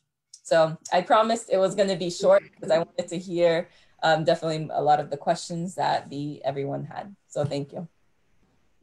Thank you, Ayla. That was really impressive and informative. Um, so with that, I will go to Hajir. She said she عندها, she has some questions uh, for our um, comments about following Sulaima's talk. Uh, then we will go to Prof. Nafisa. She also has some comments. Then we will take questions. تفضلي هاجر. شكرا آه سليمة آلاء آه شكرا على الشغل الجميل ده. آه عايزة أضيف بس للنقطة المهمة اللي قالتها آه أستاذة سليمة وأقول لها إنه ممكن يحصل تعاون. يعني الشغل هنا آه آه نحن شغالين عملنا زي classes مع ناس البوليس في المنطقة. بعد ذاك حصل لها spread في ال 50 states دي حاجة ممكن تحصل في السودان برضو. لأنه even هنا ال United States آه كان عندهم جهل كبير جدا جدا كيف يتعاملوا مع ال domestic violence آه نفس الحاجة في المستشفى. يعني أنا غيرت ال field بتاعي من engineering I was an electrical engineer. آه قريت nursing هنا. عملت ال bachelor وال masters في ال health آه يعني شغالة في ال medical field. ف they do teach us. بيدرسونا الحاجات دي لكن it, it was still uncomfortable. فعملنا classes مع ال domestic violence هنا we uh, educate ال health care workers مش بس انهم um, to report it as a mandate reporters but to talk uh, and to call one of us to call a domestic violence للهوسبيتال uh, ما بتقدري تبلغي عن الادلت صح آه لكن آه ممكن تعملي آه as a mandated reporter البوليس ولا الدكتورز they can report it هنا عندنا health 1-800 number في السودان الحاجة دي I don't know if it's uh, there implemented already or not لكن دي حاجة ممكن to consider um, I don't mind helping with any information that you need uh, في يعني في classes already ready uh, we can share it um, مع البوليس مع الدكتورز النيرسينج anyone in healthcare. الحاجة الثانية how to educate uh, the society. Like uh, في شغل أنتم شغالينه هسه سليمان متابعاه وأستاذة نفيسة. Uh, كثيرين بيتكلموا مع المجتمع لكن have to do more aggressive. Uh, قاعدين نمشي الجامعات المدارس and it's not too bad to start early. انه تتكلم عن ال uncomfortable things like Ala said from an early age I just needed to add this um, انه يعني even here for the United States a lot of adults feel ashamed انهم uh, يبلغوا ودي المشكلة اللي هسه بتواجهنا مع السودانيين والمجتمع uh, ما قاعدين يتصلوا بالبوليس ما قاعدين يشهدوا زي ما قلتي uh, they don't consider they consider it as عيب uh, كثيرين بنقول لهم call the 1-800 number بيقول لك لا we can take care of it on our own. فال stigma بتاعت calling معناه انت زول bad أو زولة bad uh, this need a lot of work في ال community بتاعتنا even here in the United States. شكرا للفرصة. شكرا هاجر إضافة جميلة وشكرا لأنك يعني تبرعك لأنك تساعدي في السودان. برضو أنا كنت عايز أضيف يعني في نفس السياق إنه الكوفيد بقدر ما هو ممكن يكون معيق للحركة لكن it opened our eyes ل lot of opportunity. هسي زي ما شايفين يعني الزوم. إحنا بروف نفيسة سليمة من السودان هاجر وآلاء وأنا كل واحدة فينا في state thousands of miles away from each other. ف I just want to take this opportunity يعني وأذكر ناس السودان uh, بالعكس الكوفيد opportunity uh, people are um, less busy في السودان and maybe they have the time. So uh, use that opportunity and utilize the technology to leverage uh, the information and to get the word out there. Uh, محتاجين لتوعية شديدة جدا جدا. محتاجين لكوميونتي انجيجمنت لأنه القوانين ما كفاية. القانون ما حيتفاعل إذا ما المجتمع يتفاعل معه وآمن به وصدقه. وده طبعا شغل كبير وشغل يعني جبار. وما سهل ابدا انك تقنع زول بانه يغير وجهه نظره العمل في مع ال مع ال ال الناس الناشئين والناس في المدارس وفي الجامعات مهم شديد لأنه الناس يعني to formulate their ideas and to give them the confidence they need from early on is very important uh, وده ممكن يتم بالسوشيال ميديا everything can be done through social media it can be done through through facebook you can be done by closed uh, small group uh, uh, conversations and it can be done national you can do it at the national level from the comfort of your home so i think i think it's a big big opportunity that we have to capitalize on and use utilize it to our advantage uh, especially في السودان مع ال مع التشالنجز بتاعت الترافل والاكسبنسز والكومفورتبل يعني الناس دائما لما تسافر في الولايات بتكون في معوقات كثيره جدا جدا والتايم آه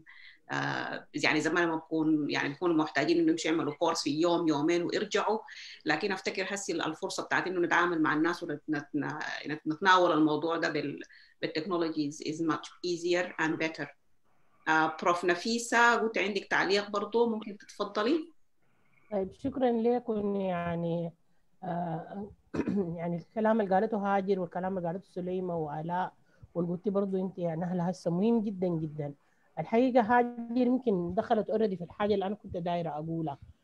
غير مسألة التعاون it's very important إنه الناس يتذكروا إنه الإنسان المهاجر whether هو مشى بمحض إرادته أو زي هاجر وسودانيين كثيرين was forced out of their country. uh, wherever they go بياخدوا معاهم كل ال package فأنت بتشيل معاك كل ال social norms حقتك بما فيها gender norms uh, فكوني أنا قاعد في أمريكا أو هولندا أو إسبانيا أو الباكستان أو واق الواق زي ما إحنا بنقول ما بيفرق لأنك أنت في النهاية حتطبق ال social norms حقتك اللي أنت جبتها معاك من حتتك اللي أنت جاي منها.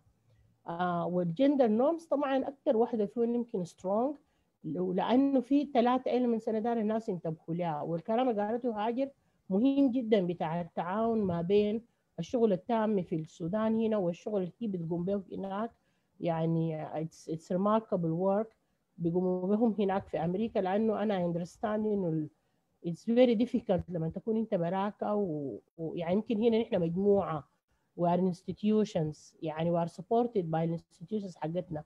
لكن بالنسبة لها هي هناك it's, it's not easy إنك توصل لمرحلة زي دي. فالمسألة بتاعت ال understanding الكونتكست نفسه بتاع الأسر لأنه الأسر بتجي من حتت مختلفة. It's very difficult انك تحاول تفهم كل أسرة براه لكن في حاجات general. في الحتة الأولى بتاعت الخوف على على الأسرة. يعني أنا ما داير بناتي وأولادي ديل يتطبعوا بالطباع الجديدة. دي number 1 so I become very overprotective. Sometimes being over overprotective could actually lead to إنه أنا أبقى زول violent. الحتة الثانية بتبقى في إنه أنا خايف من ال system. يعني هاجر هسه قاعدة تقول هي بقولها مثلا أو الأسر بتقول لها أنا ما بضرب 100 رقم 100 لأنه أنا ما I don't understand where it's going to lead. I don't understand the system. فيمكن أنا أضرب يجي يشيلوا من طفلي يعني أنا لما عشت في إنجلترا كان بيقولوا لنا إنه لو خليت أولادك مثلا غسلوا العدة بيجي يشيلوه منك ناس ال social services وأنا قاعدة أربع سنين لازم حيغسلوا العدة طبعا. لأنه ده جزء من ال culture حقتنا يعني هم أنا I'm trying to raise them انه يكونوا ناس independent. فبتبقى المسألة إنك أنت how, can you handle ال system بطريقة إنك تمشي في الاثنين. أنا أحافظ على ال gender norms وال social norms حقتي الجاي بيها أنا ال package حقتي دي وخاصة أنا زول كنت بفكر في أنا راجع السودان لكن في نفس الوقت أنا ما دايرة أخرب علاقتي مع ال system بتاع البلد اللي أنا قاعدة فيها. فدي النقطة الثانية الثالثه المسألة بتاعت أنا قاعدة في social network جديد. فأنا هنا في السودان ما قاعد وسط أسرتي واي صحيح في ناس كثيرين بيأثروا علي وكده لكن أنا إحنا اتعلمنا إننا نعيش وسط social network فحتى لو أنا سافرت إن شاء الله عندي طفل واحد ولا أنا براي وقعدت في حتة ما زول بيعرفني I will create a social network. و eventually حلقى لي سوداني قاعد هناك. و... أو سودانية وحتبقى في network وحابقى أنا زول عندي اسم وعندي سمعة والناس بيعاينوا لي ومتابعيني. وده بخليني أنا أكون يعني في ال social norm theory إحنا بنقول على ديل ال reference group حقتي. بغيرهم من أهالي القاعدين هناك لديل. لكن ديل ذاتهم جايين بال package حقتهم. فيعني في النهاية كوني أنا قاعد في واشنطن ولا قاعد في إيطاليا زي أنا الليلة قاعد في العرضة. ما ما في فرق كبير شديد. آه فعشان كده الشغل الاثنين مع بعض is very essential. نحن حنستفيد من ال system اللي عندكم أنتوا حتستفيدوا من ال ال ال ال system اللي عندنا. نحن بالرغم من كل مشاكله لكن برضه نحن system نا مشاكله سببها انه نحن قاعدين ندفر في الطين آه بآلات very small. لأنه نحن ما بنقدر نجابه كل الحياة في وقت واحد. أنتوا هناك عندكم system برضه شوية مساعد يعني شغالين بتركترات إحنا شغالين ب لسه بطورية. فلكن ممكن نساعد بعض لأنه نحن عارفين البطل نكس وين. فأم أم جلايد يعني إنه ناس وصلوا للحتة بتاعت إنه يحصل شغل ويا ريت ما تبقى دي حاجة بس حماس. هسه يا نهله يعني نحن معولين عليكم أنتوا وآلاء إنكم سما وسافه يعني ت push الموضوع ده forward further شكرا. Definitely definitely. شكرا Prof نفيسة. آه يعني ال analogy بتاعتك كانت جميلة جدا ودائما يعني انت الخبرة بتاعتك آه مفيدة. عندنا سؤال عندنا سؤالين actually. آه واحد من آلاء عبد الرحمن. هسه هي ما رافعة يدها لكن قبل في بداية ال session هي أول زول سألت قالت ممكن نسأل 200 فيتفضلي يا آلاء. عبد الرحمن اعملي unmute yourself و ask your question. uh, السلام عليكم. عليكم السلام ورحمة الله. مرحبا بك. تفضلي. أنا آلاء عمر. أنا master student في الأحفاد ل gender development and Peace Studies. ف I am very interested في المواضيع بتاعت الجندر وكده. لكن أنا لسه I'm starting يعني. فعندي أسئلة كثيرة لكم. أو سؤالين actually. آه السؤال الأول إنه يعني نحن في ال في ال violence لما نتكلم عن ال violence في violence بيجي through ال media ال social media في ال violence في ال crisis situations وبرضه في ال violence اللي بيحصل للبنات في في صفوف البنزين وكده وحتى ال violence ده بيكون through للأمن ذاته. الفيديو المنتشر لل violence اللي حصل للبيت في في صف البنزين ومرفوع عليها قضية وكده فأنا كنت عايزة أعرف الدور بتاع ال government في الحتة دي شنو الوزارة مثلا. هل هي بس شغالين على ال violence ال domestic violence بس واذا هم شغالين على ال other types of violence ال policies اللي هم بيحاولوا إن هم يتبنوها. هل هي specific policies ولا redistributed policies gender specific policies ولا كيف؟ وكيف هم حيقدروا إنه يعني إنه يحصل spread لل policies دي في ال في ال community بتاعنا.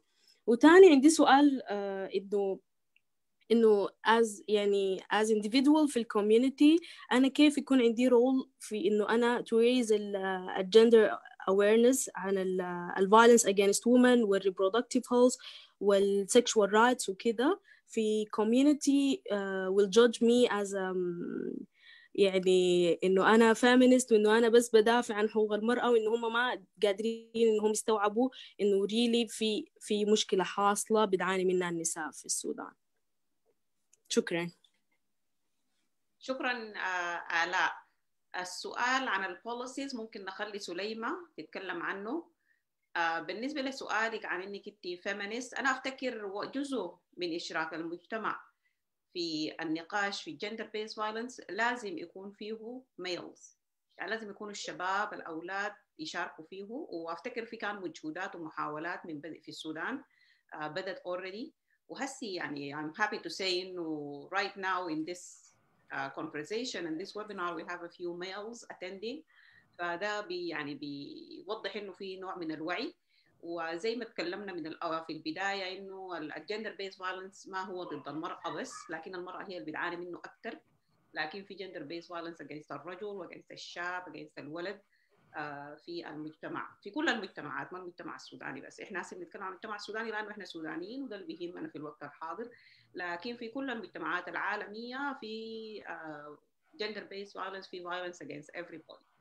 ف this is something I think uh, maybe uh, can talk to in a bit. لكن سليمة ممكن تجاوبي لآلاء عن البوليسيز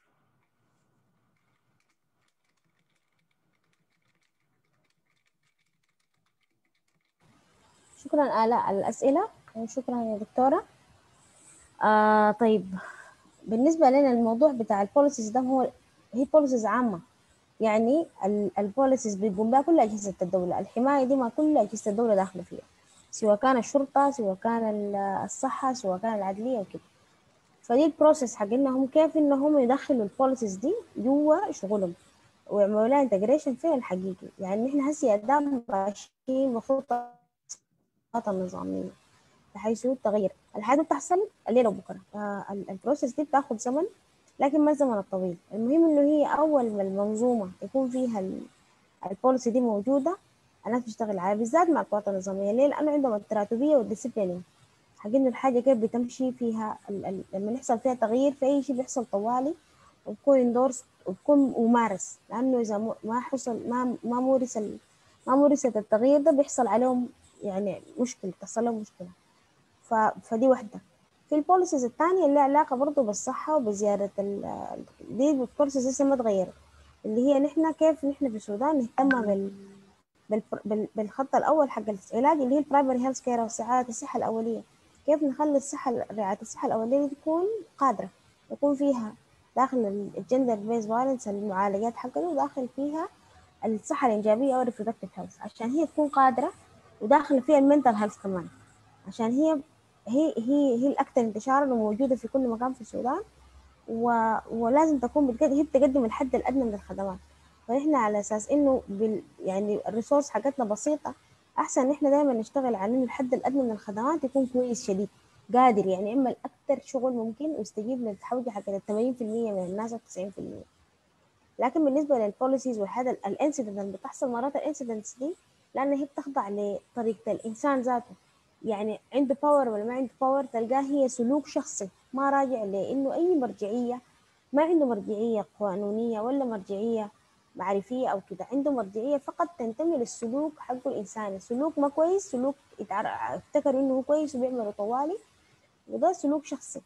الحياة زي دي ما بتنتهي إلا لما يكون عندنا ضامنين القوانين وضامنين موضوع الاكونتابيلتي والمحاسبية. آه لأنه من فينة ولأخرى في ناس كثيرة لما تلقى سلطة بتعمل كده. والحاجة دي ما معمولة بس على القوات النظامية. كل الناس ممكن يكون عندهم إنهم لما يلقوا سلطة ممكن يستخدموها بهذا شكل ممكن يأثروا على الناس بهذا شكل فهي سلوك شخصي هو سلوك شخصي سيء لكن معزز. ليه؟ لأنه معزز بيشتغل بالقبول حق المجتمع. إنه المجتمع بيقبله. فده الشغل برضه حق التوعية شغال فيه. ما في برضه حاجة زي ما أرجع أقول لك ما في حاجة تنتهي الليلة وبكرة. هذه حادثة حصلت وحادثة مؤسفة جدا لكن في النهاية ما, يعني الحاجات تتغير طوالي كده تتغير بتاخد زمنها. it takes time. ممكن تاخد زمن طويل ممكن تاخد زمن قصير. لكن في النهاية بتكون you build ال foundation الأساسي في إنه الأمور تمشي بالشكل السليم آه لما تاخد سياسات معينة لما كده لما كده. السياسات المعينة دي لما تتخطى أكيد بيحصل لها إعلان. بالعكس الناس قاعد تفرح جدا جدا بإنها هي تعلن يعني عن أشياء بتعمل فيها commitment كده ليه؟ لأنه ذاتها بتصلح ال image حقها. آه فنحن دي دولة وليدة لسه بتأتي تقريبا أو هي بتتعلم المشي أو هي لسه ما تعلمت المشي ذاته لكن عايزة عايزة مساعدات عشان تقدر تعمل يعني الحاجات حقتها. فما بتقدر تعملها كلها كده. بتاخد منها زمن تاخد منها حاجات. يعني حسي القانون بيحصل له إجازة لكن زمن طويل حتى الناس تقدر تشتغل عليه بالشكل المناسب معه.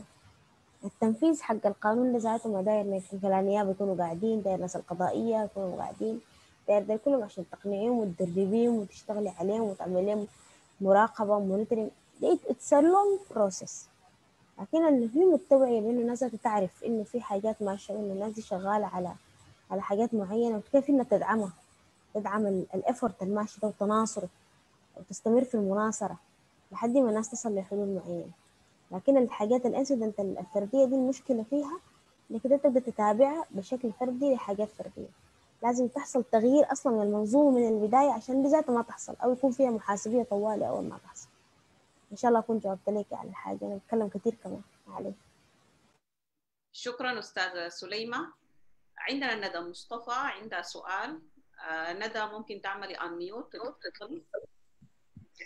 جدا. شكرا جزيلا لكل المتحدثات. آه حقيقي ندوة مهمة جدا وشكرا لأنكم يعني يو مارك ال 16 days of activism. آه فسعدت بإنك اتكلمتي على التجربة الشخصية بتاعتك يا هاجر بالمناسبة لأنه آه دي حاجة مهمة جدا وبتشجع ناس كثيرين تانيين إنهم يتكلموا عن تجاربهم. وأحب إنه أهنيك تاني على الكتاب بتاعك وأتمنى إنه يترجم بالعربي برضه آه عندي سؤالين لسليمة. كيفك يا سليمة؟ إن شاء الله تكوني كويسة. آه السؤال الأول آه خاص بانه إنه في اتجاه عشان تتعامل بحوث آه عشان يعني تستهدفيها البرامج والسياسات في السودان. وأنا بفتكر دي حاجة مهمة جدا. آه من الحاجات الجيدة برضو اللي عرفتها إنه في مسودة لقانون آه حول العنف ضد المرأة. آه ويا ريت أعرف الطريقة اللي ممكن أتحصل بها على نسخة القانون دي. ويا ريت إذا كان في برضو آه اتجاه لإنه النسخة دي to be circulated وسط المجموعات النسائية بصورة واسعة آه عشان ده بيعزز الشفافية بيخليها إنها تكون آه أفضل لأنه بيكون في input من ناس كتار بيكون في ownership زي ما ذكرت واحدة من المتحدثات. يمكن أنت اللي ذكرت الموضوع ده. لأن المجموعات دي هي اللي حتضغط في النهاية عشان يتنفذ القانون ده. فأنا بفتكر دي حاجة مهمة جدا آه ويعني الشفافية أهم حاجة طبعا. شكرا لك. الحاجة الثانية اللي بسأل منها اللي هي الخط الخاص بالتبليغ عن العنف اللي حصل في أثناء الكورونا آه يعني مما بدأت الكوفيد 19 آه كنت عايزة أعرف إذا كان في أي آه إحصائيات مثلا متوفرة أو معلومات حول عدد النساء اللي هم استخدموا الخط ده آه شكل الأنواع العنف اللي هم بيبلغوا عنها شنو أساسا؟ وشنو نوع الخدمات اللي هم وجدوها؟ وشكرا جزيلا لكم تاني. شكرا يا ندى. تفضل يا سليمة.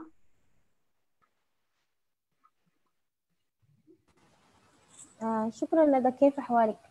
زمن طويل أنا فقدت الأرقام بتاعتي كلها ففقدت التواصل المباشر مع ناس كتار جدا منهم انتي آه فكانت مشكلة بالنسبة لي. آه كويس إنه تواصلنا تاني. أي حيحصل تشاور كبير جدا في المسألة بتاعت القانون.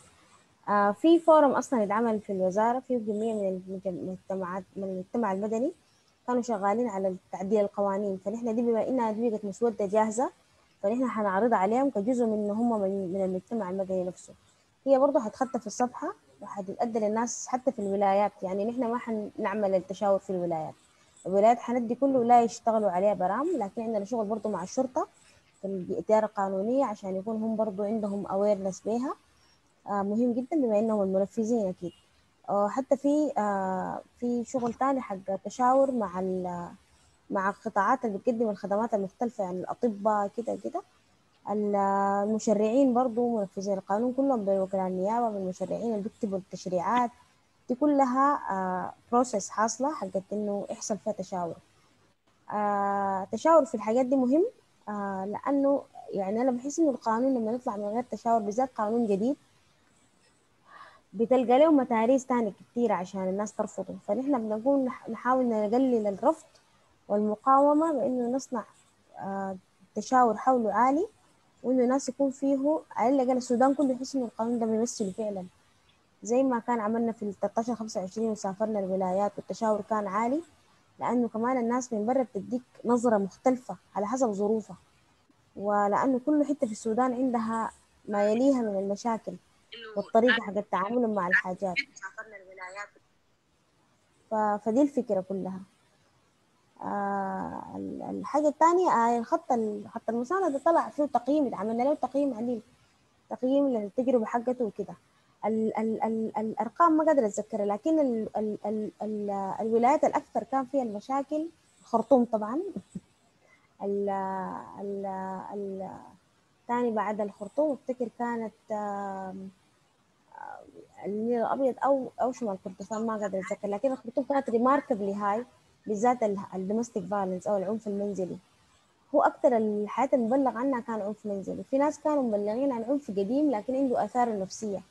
وهو طبعا لأنه خط مساندة نفسي اللي هو الفكرة حقت إنه زول يسمعني لما تحصل لي حاجة وما يحس بال stigma الكبيرة حقت ال- الحاجة اللي حاصله لي إنه في ناس بت- بت- بتخفف عليه ال stigma دي بتوريني أنا أعمل شنو. دي الفكرة كلها كانت من المساندة النفسية. ولحد هسه شغال بما إنه هو كان شغال بدل كوفيد لكن الآن شغال. وفي مكالمات كثيره قاعد تجي فيه وكده. آه لكن هو ذاته كان وجه كده بحرب كده حق التشكيك. يعني مرات نحن عشان نقول والله الخدمات كويسة أو ما كويسة أو كده بنخلي الناس ذاتهم بيتهيبوا من إنه الخدمات دي. بنتكلم يعني عنها بأسامبشنز كثيرة ما بنخليها تمشي لقدام عادي. آه هي بتكون بتضر مرات الحاجات دي. يعني مع إنه نحن بنكون الفكرة بتكون أصلا النية بتكون الناس تقوي الخدمات دي مش تضعيفها. لكن بال ال ال ال الكلام الكثير بالحياة زي دي تقوم بتعمل تشكيك حولها. لكن عموما ال- ال- الموضوع مشى بشكل كبير. فنحن ماشيين في إنه السنة الجاية بيبقى خط كول سنتر عديل. ما يكون خط ذاته بنمر كبيرة يكون خط موحد. ولأنه لما يطلع القانون بيكون مسنود بالقانون. وكان ما مسنود بالقانون أول لكن حسي حيكون مسنود بالقانون لما القانون يطلع ويحصل له إجازة آه، شكرا جزيلا أستاذة سليمة آه، عندنا سؤال من آلاء أو تعقيب فممكن تتفضلي يا آلاء آلاء يونس Uh, shukran, Nick. I wanted to just go back and to address the question that came from Ala, a student at um, Ahfad University, just because this is something to speaking to those that are in university, um, postgraduates that is really important of how to raise awareness into the community.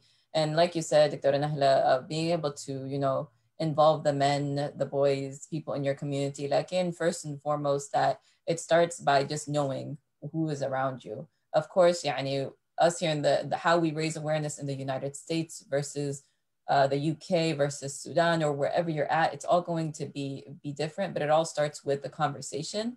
Um, I think the the fear of somebody's going to be talking about me or somebody's going to be doing this. Um, we need to we need to just attack this to go forward with it. Uh, if those that made change in the past um, probably started with thinking, well, this is this isn't right, or somebody's going to do this. This is eb. Um, being able to start the conversation first and know your community and being able to really relate all this information. Part of what I was uh, mentioning earlier of that gender-based violence and um, conflict is interconnected. You know, the economy is a part of that. So if you are a business owner, this also affects you. If you are a politician, this also affects you. No matter who you are, in order for a country to be able to succeed and to go forward, you need to put women's rights in that conversation. Um, and, you know, the United States is something that, you know, where we're still working. Like in, it blew my mind to, when I was even doing some research that there are only eight countries in the world that have full rights for, for women and the United States is not one of them. So we need to be able to start this conversation to so to you Ala and to your colleagues in school, to your um, those around you, have it started. I'm sure you know I've heard so many great things about Ahfad University and just so many women that are doing the work. Like in one, I would say know your community. How can you relate it to them? But also just get the conversation started. Um, so that's the only little piece that I wanted to add to you because I think it's just important for those that are in college and those that want to get started because it, it starts with, you know, one notebook, one conversation, one phone call um, in order to make change. Thank you, Ala. Yes, this is really important. And, and this is one, maybe one major aspect why Sama got involved in this conversation is starting the conversation somewhere and, uh, and leading it. And we have also a collaboration with Ahfad University that started last year. Um, and we um, utilized some of their experts to run the awareness campaign that SAMA organized uh, in, in 2019 around the 16 days of activism. And this is why we continue this conversation here today. And we have um, some efforts in Sudan to do more. uh, train the trainers and train people um, in some areas to lead this conversation and work with uh, the communities that we are already working with. Um, as I mentioned earlier, this is all part of, of SAMA Women's Health Program, where we are training um, the midwives in their rural communities to serve those women uh, and, and, you know, serve them health-wise, but also advocate for them and giving them the skills and the training that they need. Uh, one uh, thing that really struck me a few years ago when we started this program, and I went um, to Sudan and I visited some of the midwifery schools, I had a conversation with, with some midwives. And, you know, to my surprise, like it's, uh, you might not think of it that way, but it's true that, you know, the, um, the man in many places in Sudan has the decision of whether his wife gets treatment or not he makes a decision of whether his wife has, you know, gives birth at home or in the hospital, even if she needs medical attention. And he has the resources to avail that for her economically and, you know, transportation and the permission.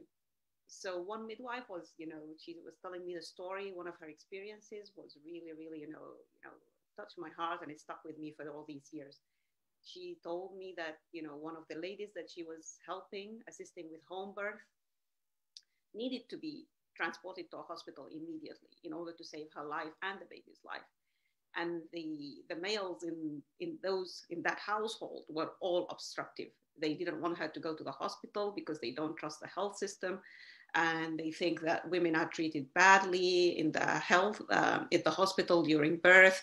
Uh, some of them didn't want, you know, their wife or their daughter exposed to male uh, birth attendants or doctors.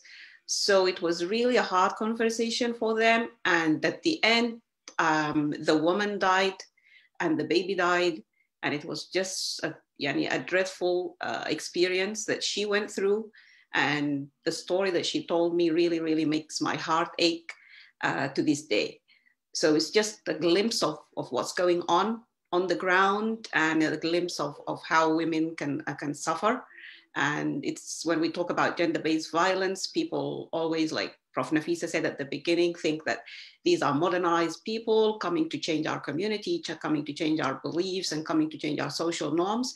No, we are part of you. We are Sudanese, we are Muslims, we care, and we hold all our community values very high. But we are here to support those people in need. And this is the message that we need to get across even when we talk about such you know sensitive issues um, and bring them to light it's part of what we do it's part of our health programs and it's part of the need in sudan that has to be addressed um, i don't want to talk more than this because i think i'm really really passionate and it, it you know it, it, touches me very dearly i can go on forever about it um, if no one else has any questions i would like to thank our panel I think there is a question actually. Um, Raja hina uh, in the chat said she has a question and maybe a comment.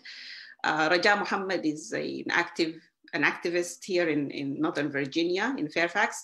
Uh, she's uh, she has a an organization and she's a very social um, leader and an advocate for women's rights. Uh, Raja, تفضلي. شكرا جزيلا للكل شكرا بروفيسور نفيسة شكرا هاجر شكرا دكتورة سليمة شكرا آلاء شكرا جزيلا يا نهلة أنا حقيقي سعدت جدا بالمحاضرة دي وسعدت جدا بكل المعلومات والنولج اللي أنتم طرحتوها والتحرك القوي في في في السودان بالذات يعني. يعني أنا بأمانة الجزء بتاع دكتورة سلمى I'm really proud about إنه الخطوات اللي تمت تجاه تجاه uh, معالجة العنف أو التايتل بتاع المحاضرة نفسه قانونيا والمتابعة الدقيقة اللي أنت سردتيها في في في الجزء بتاعك. بصراحة يعني I felt إنه نحن بخير نحن بخير. طيب أنا في الأيام دي حسي شغاله في في دراسة بحثية. عن الخدمات الصحية للاحتياجات الحقيقة الصحية للمرأة في منطقة واشنطن الكبرى. أنا أنا consultant في في في الشغل ده. أشكر نهلة لانها كانت ال link للشغل ده وحس إن إحنا دخلنا مرحلة ال interviews. ويا آلاء ال team بتاعنا في جورجيا شغال شغل ممتاز جدا. يا ال ال ال ال ال الاحتياجات الصحية و they touch ال circumcision وتاثيرها على على النساء في الشريحة من 18 ل 49 سنة اللي هي دي ال reproductive يعني هنا portion of women اللي بيكونوا بيتاثروا بال بال بالطهور وأنواع ال circumcision ف نرجع للموضوع اللي هو ال gender based violence and reproductive system أو sorry health في في السودان.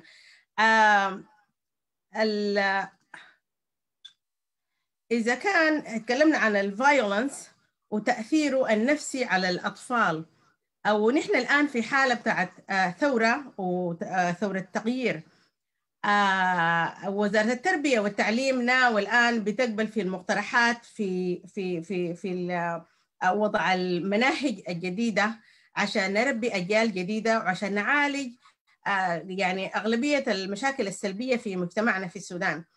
هل حصل تناقشتوا أو اديتوا أي مقترحات لوزارة التربية عشان يدخل في المنهج يعني جزء يعالج لنا أو على الأقل نبني مينتاليتي جديدة في في الأجيال القادمة عن علاج الآثار السلبية عن ال من ال من ال في الأطفال يعني من العنف الأسري وال circumcision للإناث. ولأنه دي يعني المسائل دي علاجها بالقانون ما ما يعني ما دائما بيأدي الغرض 100% زي ما نحن عاوزين أو زي ما إحنا بنتوقع. لأنه إذا تكلمنا بس عن ال circumcision يعني أنا أنا أنا من بنات الجزيرة. عارفة تماما إنه ممكن تكون المراقبة في المدن الكبيرة لكن في القرى حدث ولا حرج. فالمسألة محتاجة إنه ال education يكون من ال roots لأنه الشيء الحاصل في ال في في ال في ال في ال التقاليد اللي قاموا بها الشباب حتى ال now في عمر ال 30 سنة still ماشي بنفس ال mentality بتاعت جده وحبوبته وكده. آه أنا بتذكر في محاضرة كانت آه آه عن عن العنف الأسري وكده آه في واحد قال يا جماعة أنا زول ويل educated أنا زول بتاع اي تي أنا زول فاهم أنا زول كده. لكن قال في في بيتي بمارس نفس الحركات اللي بيعملوها ناس أبوي وناس جدي. ليه؟ قال لأنه الكمبيوتر في راسي ده بتغيروا لي كيف يا جماعة؟ يعني معناتها شنو؟ دي حاجات اترسبت في أذهان الناس وبقت كأنها جزء من حياتهم. فأنا اتخيل لي العلاج هو ممكن يحصل لكن حقيقي محتاج زمن طويل. Generations to come. فيبدو لي إنه المسألة دي لو دخلت في المقررات بتاعت وزارة التربية والتعليم ممكن تساعدنا بصورة أكثر ونحن نكون مستمرين في نفس ثورتنا لعلاجه أشكركم كثير ومحاضرة قيمة جدا. شكرا. شكرا أستاذة رجاء للمداخلة المفيدة. طبعا I just want to reflect on الكلام اللي قلتيه بتاع غير الكمبيوتر كيف فعلا يعني في المقولة الشهيرة بتقول you can you can take the man out of the country but you can't take the country out of the man. And this applies at all levels. Uh, التغيير يعني الحاجة اللي تربى عليها الإنسان بتأثر عليه. كلنا متأثرين زي ما قال Prof نفيسة. إحنا كلنا immigrants لكن we, we immigrate with the whole package. وده اللي بيخلق ال generation gap هنا في أمريكا في تربية الأولاد في ال expectations بتاعتنا نحن من أولادنا متوقع منهم شنو. ف بقدر ما انه نحن مؤمنين بال values بتاعتنا وعايزين نربي أولادنا عليها وعايزين ننشئهم عليها. uh, لكن we have to be moderate and we have to understand إن هم جيل مختلف وعايشين في مكان مختلف والحياة اللي حواليهم كلها مختلفة. ال social norms بتاعتهم definitely مختلفة من حقتنا نحن. uh, لكن ال healthy environment يعني الأم أو المرأة قبل ما هي تطالب يعني الزوج بإنه يتغير هي لازم تتغير وهي لازم تفهم وهي لازم تتسلح بالعلم والمعرفة وكل الوسائل اللي بتخليها هي إنسانة صالحة في بيتها عشان تؤدي رسالتها على أكمل وجه. وده بيساهم كثير جدا في إنه يغير المفاهيم حتى للزوج. إذا كان العنف ضد المرأة جاي من الزوج أنا بفتكر إنه المرأة ممكن تلعب دور كبير جدا في بيتها.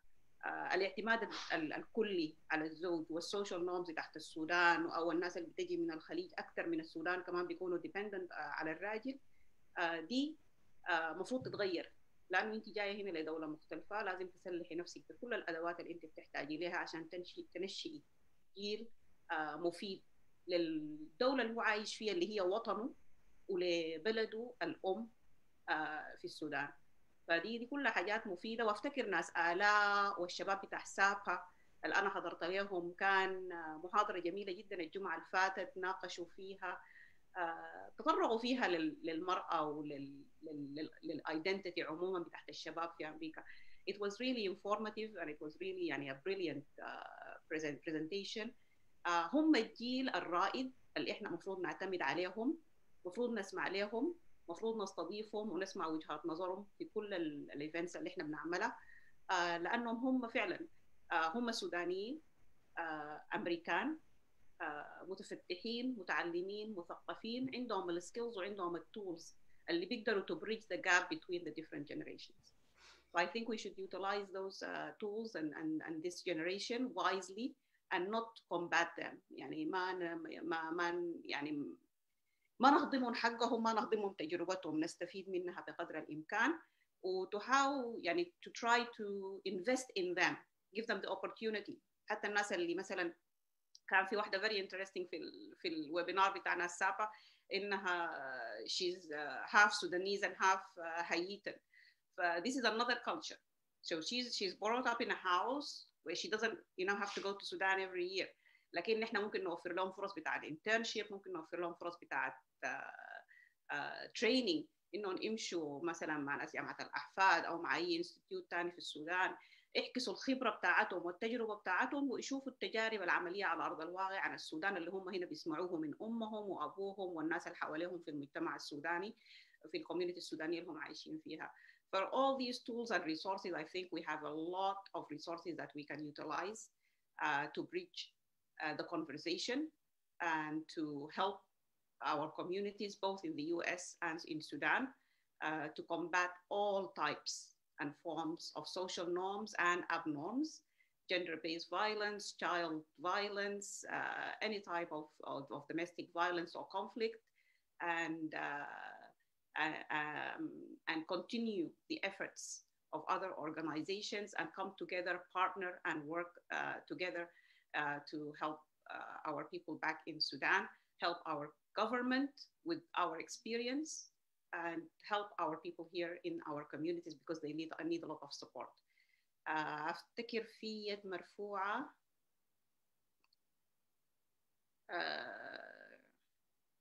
بروف نفيسة عندها كومنت على كلام أستاذة رجاء تفضلي بروف نفيسة شكرا شكرا أستاذة رجاء على كلامك. كلامك قلتيه مهم جدا جدا. آه في في نقطتين أنا دايره أقولهم. الأولى طبعا حاسس المجلس القومي لرعايه الطفولة بعيد في استراتيجية جديدة للمسألة بتاعت تشويه الأعضاء التناسلية الخارجية للأنثى. ده الاسم طبعا اللي هو ال female genital mutilation وواحدة من المحاور اللي فيه هي مسألة التعامل في المسألة تحت المناهج مش بس من ال ال الأساس لكن إحنا حتى في شغلنا في, خلال العشر سنين اللي فاتت اشتغلنا حتى مع رياض الأطفال وعندنا تجارب كثيرة جدا حصل فيها إنه البنات والأولاد في مرحلة الأساس كانوا هم السبب في إنه وقفوا أسر من إنهم يختنوا بناتهم. ودي بذاتها بتجي بتشتغل وين؟ في الحاجة اللي هسه قالتها نهلة.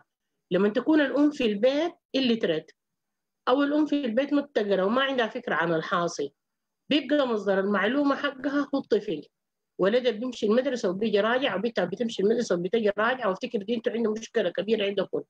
في أمريكا لأنه أنا بتذكر لما برضه أنا كنت في إنجلترا كانت دي مشكلة بين السودانيات والصوماليات والباكستانيين دول إنه الأم بتجي تكون ما بتعرف إنجليزي مصدر النولج حقها هو الطفل.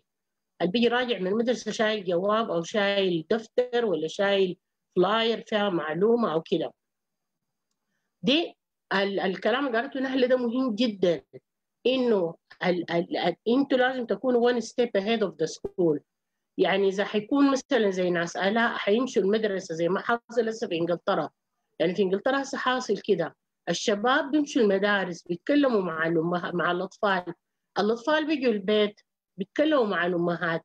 لكن في groups بتكون already سردت الموضوع مع الأمهات. لأنه الطفل لو جا شايل له ورقة آه مكتوب فيها إنه الحاجة دي والختان ولا what ولا عنف ولا كده أنت you don't know how the mother will react أو الأبو. فلازم يكون في preparation للأسرة دي في إنها هي تعرف كيف in dialogue الطفل ده. حتى بطرق بسيطة جدا جدا. وأنا اديك جه سالني قال لي أنت condom ده شنو؟ ف... فأنا بالنسبة لي أنا مش زول متعلمه وقاريه واي حاجة. ليه؟ لأنه كانوا ادوهم في المدرسة حصه بتاع sex education ف وزي زي ما قدروا يفهموا الفكرة شنو. ففي لحظة أنا أنا it took me 15 minutes عشان أبتدي أفكر في إنه أنا ممكن أشرح شنو وأقول شنو. وأقدر أشرح الحاجة دي كيف بلغه هم يقدروا يفهموها؟ That will not make them مثلا get out of برضه ال social norms حقتي أنا جاية منها. ف ف it is not very easy when a child comes back ب information جديدة. آه دي الحاجة إن إحنا هسه في السودان بنعمل فيها. يعني إحنا اشتغلنا مع الأطفال اشتغلنا مع الأمهات في نفس الوقت. واكتشفنا إنه دائما الأم بتسمع كلام طفلها بيجي شايل له ورقة بتقعد تعاين لها وبيقرا لها وبتفهمها كويس جدا. لكن لازم يكون في زول قبلها فتح حضانه زي ما إحنا بنقول. آه نقطة الثانية المهمة ذكرتها هي مسألة ال services للنساء المتعايشات بال... بالختان. وأفتكر برضه في إنجلترا عملت آه حاجات كثير يعني أنا am glad إنه كنت doing study زي دي. طبعا هناك عندكم نوال نور. think you already know her. uh, نوال نور شغالة في بوسطن. أنا ممكن أرسل لك بال email. uh, أخذ الإيميل منها نرسل أو ال link معاي إذا أنت بتعرفيها. نوال طبعا شغال عندها center بتقدم فيه خدمات للنساء المتعايشات بالختان سودانيات على صوماليات كانت أخذت قبل كده جائزة عالمية. هي سودانية half سوداني half Egyptian. آه فبرضه ممكن تكون بالنسبة لك مصدر كويس تساعدكم في الحتة دي. آه ونحن مستعدين يعني أنا بالذات شغل الختان ده طبعا is my day in day out work. آه فلو عندكم لو عايزة أي معلومة في أي حاجة في أي مساعدة just send me an email and I will be very happy to help في الحتة دي. آه يعني ده شغل مهم جدا جدا. إحنا دائما للأسف بنهمل النساء المتعايشات مع مسألة الختان وإن شاء الله يكون ما عندكم هناك رينفيبيليشن زي ما عندنا نحن هنا في السودان. ودي كمان قضية تانية. It's when a woman decides to put herself through another round of violence وفي ناس بيقولوا على plastic surgery. لكن في النهاية هي some kind of submissive behavior آه لأنها هي تعلمت زي ما قالت قبل هاجر إنها هي خلاص تعودت على إنها هي تكون دائما الفيكتيم أو هي الزول خلاص راضية راضية بحالتها دي ودي الحاجة خلاته من كان الهاوس أو الفاميلي حقتها أو تبليز الحصبن زي ما النسوان بيقولوا. ف يعني فالجلسة النقطة تحت الأطفال مهمة جدا جدا. وزي ما تفضلت نهلة هسه يعني ناس آلاء دي بالنسبة لنا ناس مهمين جدا لقدام. آه الآلائتين آلاء اللي معانا في اللحظات هنا وآلاء آه في سابا. يعني ناس مهمين جدا لأنهم في النهاية هم الناس اللي بيولي الحاجة دي اللي قدام وهم الناس اللي بيقدروا يتكلموا مع two generations معانا نحن hopefully. ومع ال generation الصغير. أه لحد ما يجون generation كمان يلا زي ما بيقولوا الشباب هنا يدقسبيون يبقوا بعد ذاك هم زينا نحن. العجائز الجلاكين زي ما بيقولوا أولادي أننا. شكرا شكرا جزيلا. على عبد الرحمن الأخير عشان نختم لأنه طولنا على الحضور وطورنا على البانل تفضل يا آلاء. آه أيوة أنا كنت بس آه أيوة. لا ما سامعيني آه سامعيني أيوة. بس كنت عايزة أسأل إذا وين حلقة التقارير والبحوث اللي بتنشرها الوزارة آه عن ال gender based violence؟ وعايزة أشكركم كلكم آه يعني على المساحة. شكرا لك آلاء أفتكر أنا ممكن آه، سليمة إذا سمحت لي introduce you to آلاء by email آه، وبعد ذاك you can take it from there يعني. آه، فشكرا جزيلا الحضور الكريم داخل الويبينار أستاذة سليمة الخليفة بروفيسور نفيسة بدري أستاذة رجاء آلاء أستاذة آلاء يونس وأستاذة هاجر الشيخ. شكرا لكم. لزمنكم وموافقتكم على انكم تشاركونا خبراتكم وتجاربكم وتفتحوا معنا باب الحوار في الموضوع المهم ده. ونتمنى إنه يتابع الحوار وما يقيف على إنه كل سنة ننتظر لحد ما يجي نوفمبر ديسمبر عشان نبدأ الحوار في 16 days of activism. We should continue this conversation throughout the year um, whenever possible. Uh, come together uh, talk discuss and brainstorm. And raise the awareness أهم حاجة. والاويرنس ممكن يكون على كل المستويات بدءا من الوزارة في السودان آه، هم ماشيين في الاتجاه الصحيح وأفتكر هم experts يعني much more than we are. آه، لكن برضو الاستعانة بالمجتمع على كل المستويات بقت في آليات ووسائل آه، اللي بيسموهم لجان المقاومة الجمعيات النسائية أي يعني أي حي في السودان بقت فيه جمعيات سواء كانت جمعية بتاعت آه، نشاط مجتمعي سواء كانت جمعية بتاعت تحفيظ بتاع قرآن سواء كان جمعية آه، بتاعت آه، يعني any type of social or public work. ف I think you need to tap into these resources to convey the message. And uh, give them the tools. Some people have the knowledge لكن ما عندهم the tools. ما عارفين يبدوا من وين. فهم قطعا محتاجين لمساعدتنا إنه إحنا نوريهم يبدوا من وين. Uh, زي ما قلت ما عايزه أطول على الناس. I think we aim for one hour. We are just exceeding two hours. Uh, شكرا جزيلا الناس اللي تابعتنا في الفيسبوك. راجعت الشات ما لقيت فيه سؤال لكن فيها lot of comments. كلها بتشكر الناس. وبتفتكر إنه كان نقاش مثمر. كل الناس اللي معانا في الويبينار وسجلوا عندنا الإيميل حقهم حيجيهم استبيان. آه، أرجو إنكم تملوا لنا الاستبيان لأنه مفيد الفيدباك بتاعكم بيورينا إحنا نتجه على وين. آه، الحاجة اللي بنعمل فيها صح وين والحاجة المحتاجين نطورها ونحسن منها. آه، بدعوكم من هنا ل two events coming next week. آه، يوم تسعة. آه، يوم تسعة اللي هو يوم الخميس. sorry يوم الأربع. عندنا webinar عن ال maternal and child health program بتاع ساما وحنستضيف فيه ال partners بتاع ساما آه، اللي مشوا معانا في الطريق ده من 2016 في تدريب القابلات في السودان. آه، وحنستضيف فيه زميلة من إثيوبيا عشان تورينا تجربتهم في دولة مجاورة عشان الناس ما تفتكر إنه الكلام ده جاي من القمر وما حيطبق في السودان. وحنطرح لكم ال- اللي عملته ساما في الأربع سنين اللي فاتت. و demonstrate to everybody that it's possible. Uh, the other uh, webinar that's coming up is uh, يوم 10 uh, اللي هو في التعاون بتاع ساما مع جامعة الأحفاد والمعهد بتاع جريس uh, اللي هو برضه حيكون عن gender based violence during COVID. Uh, فديل some uh, uh, coming up. Uh, please mark your calendar and I hope you can join us. بتاع يوم الأربع شوية تريكي لأنه during the work day هنا في أمريكا uh, اللي هو الساعة 10 صباح 12 ظهر آه، لكن بتاع السودان الثاني بتاع يوم الخميس آه، الساعة برضو 12 ظهر برضو 7 مساء.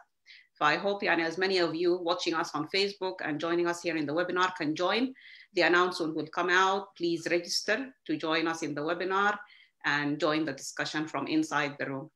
آه، ال survey يترسل في الشات لكن برضو حرسل لكم بالإيميل تاني. أرجو إنكم تملوه عشان آه، الناس كلها تستفيد آه، من الحضور.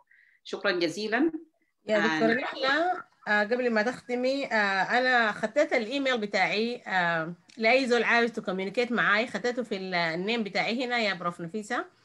آه، بعدين كنت عايزة أقول حاجة أخيرة يا نهلة. آه، قبل كان في سؤال عن بنتنا الطالبة في الأحفاد. آه، قالت ال violence لما يكون على ال social media وكده. في في السودان الآن في في نيابة جرائم المعلوماتية. This will help يعني عشان ت support في الحالات بتاعت ال بتاعت ال violence لما يكون through الواتساب ولا فيسبوك ولا كده على على ال social media بس حبيت أعلق على الحتة دي عشان هي تاخذ ال ال ال الإجابة على سؤالها. وشكرا جزيلا. شكرا أستاذة رجاء.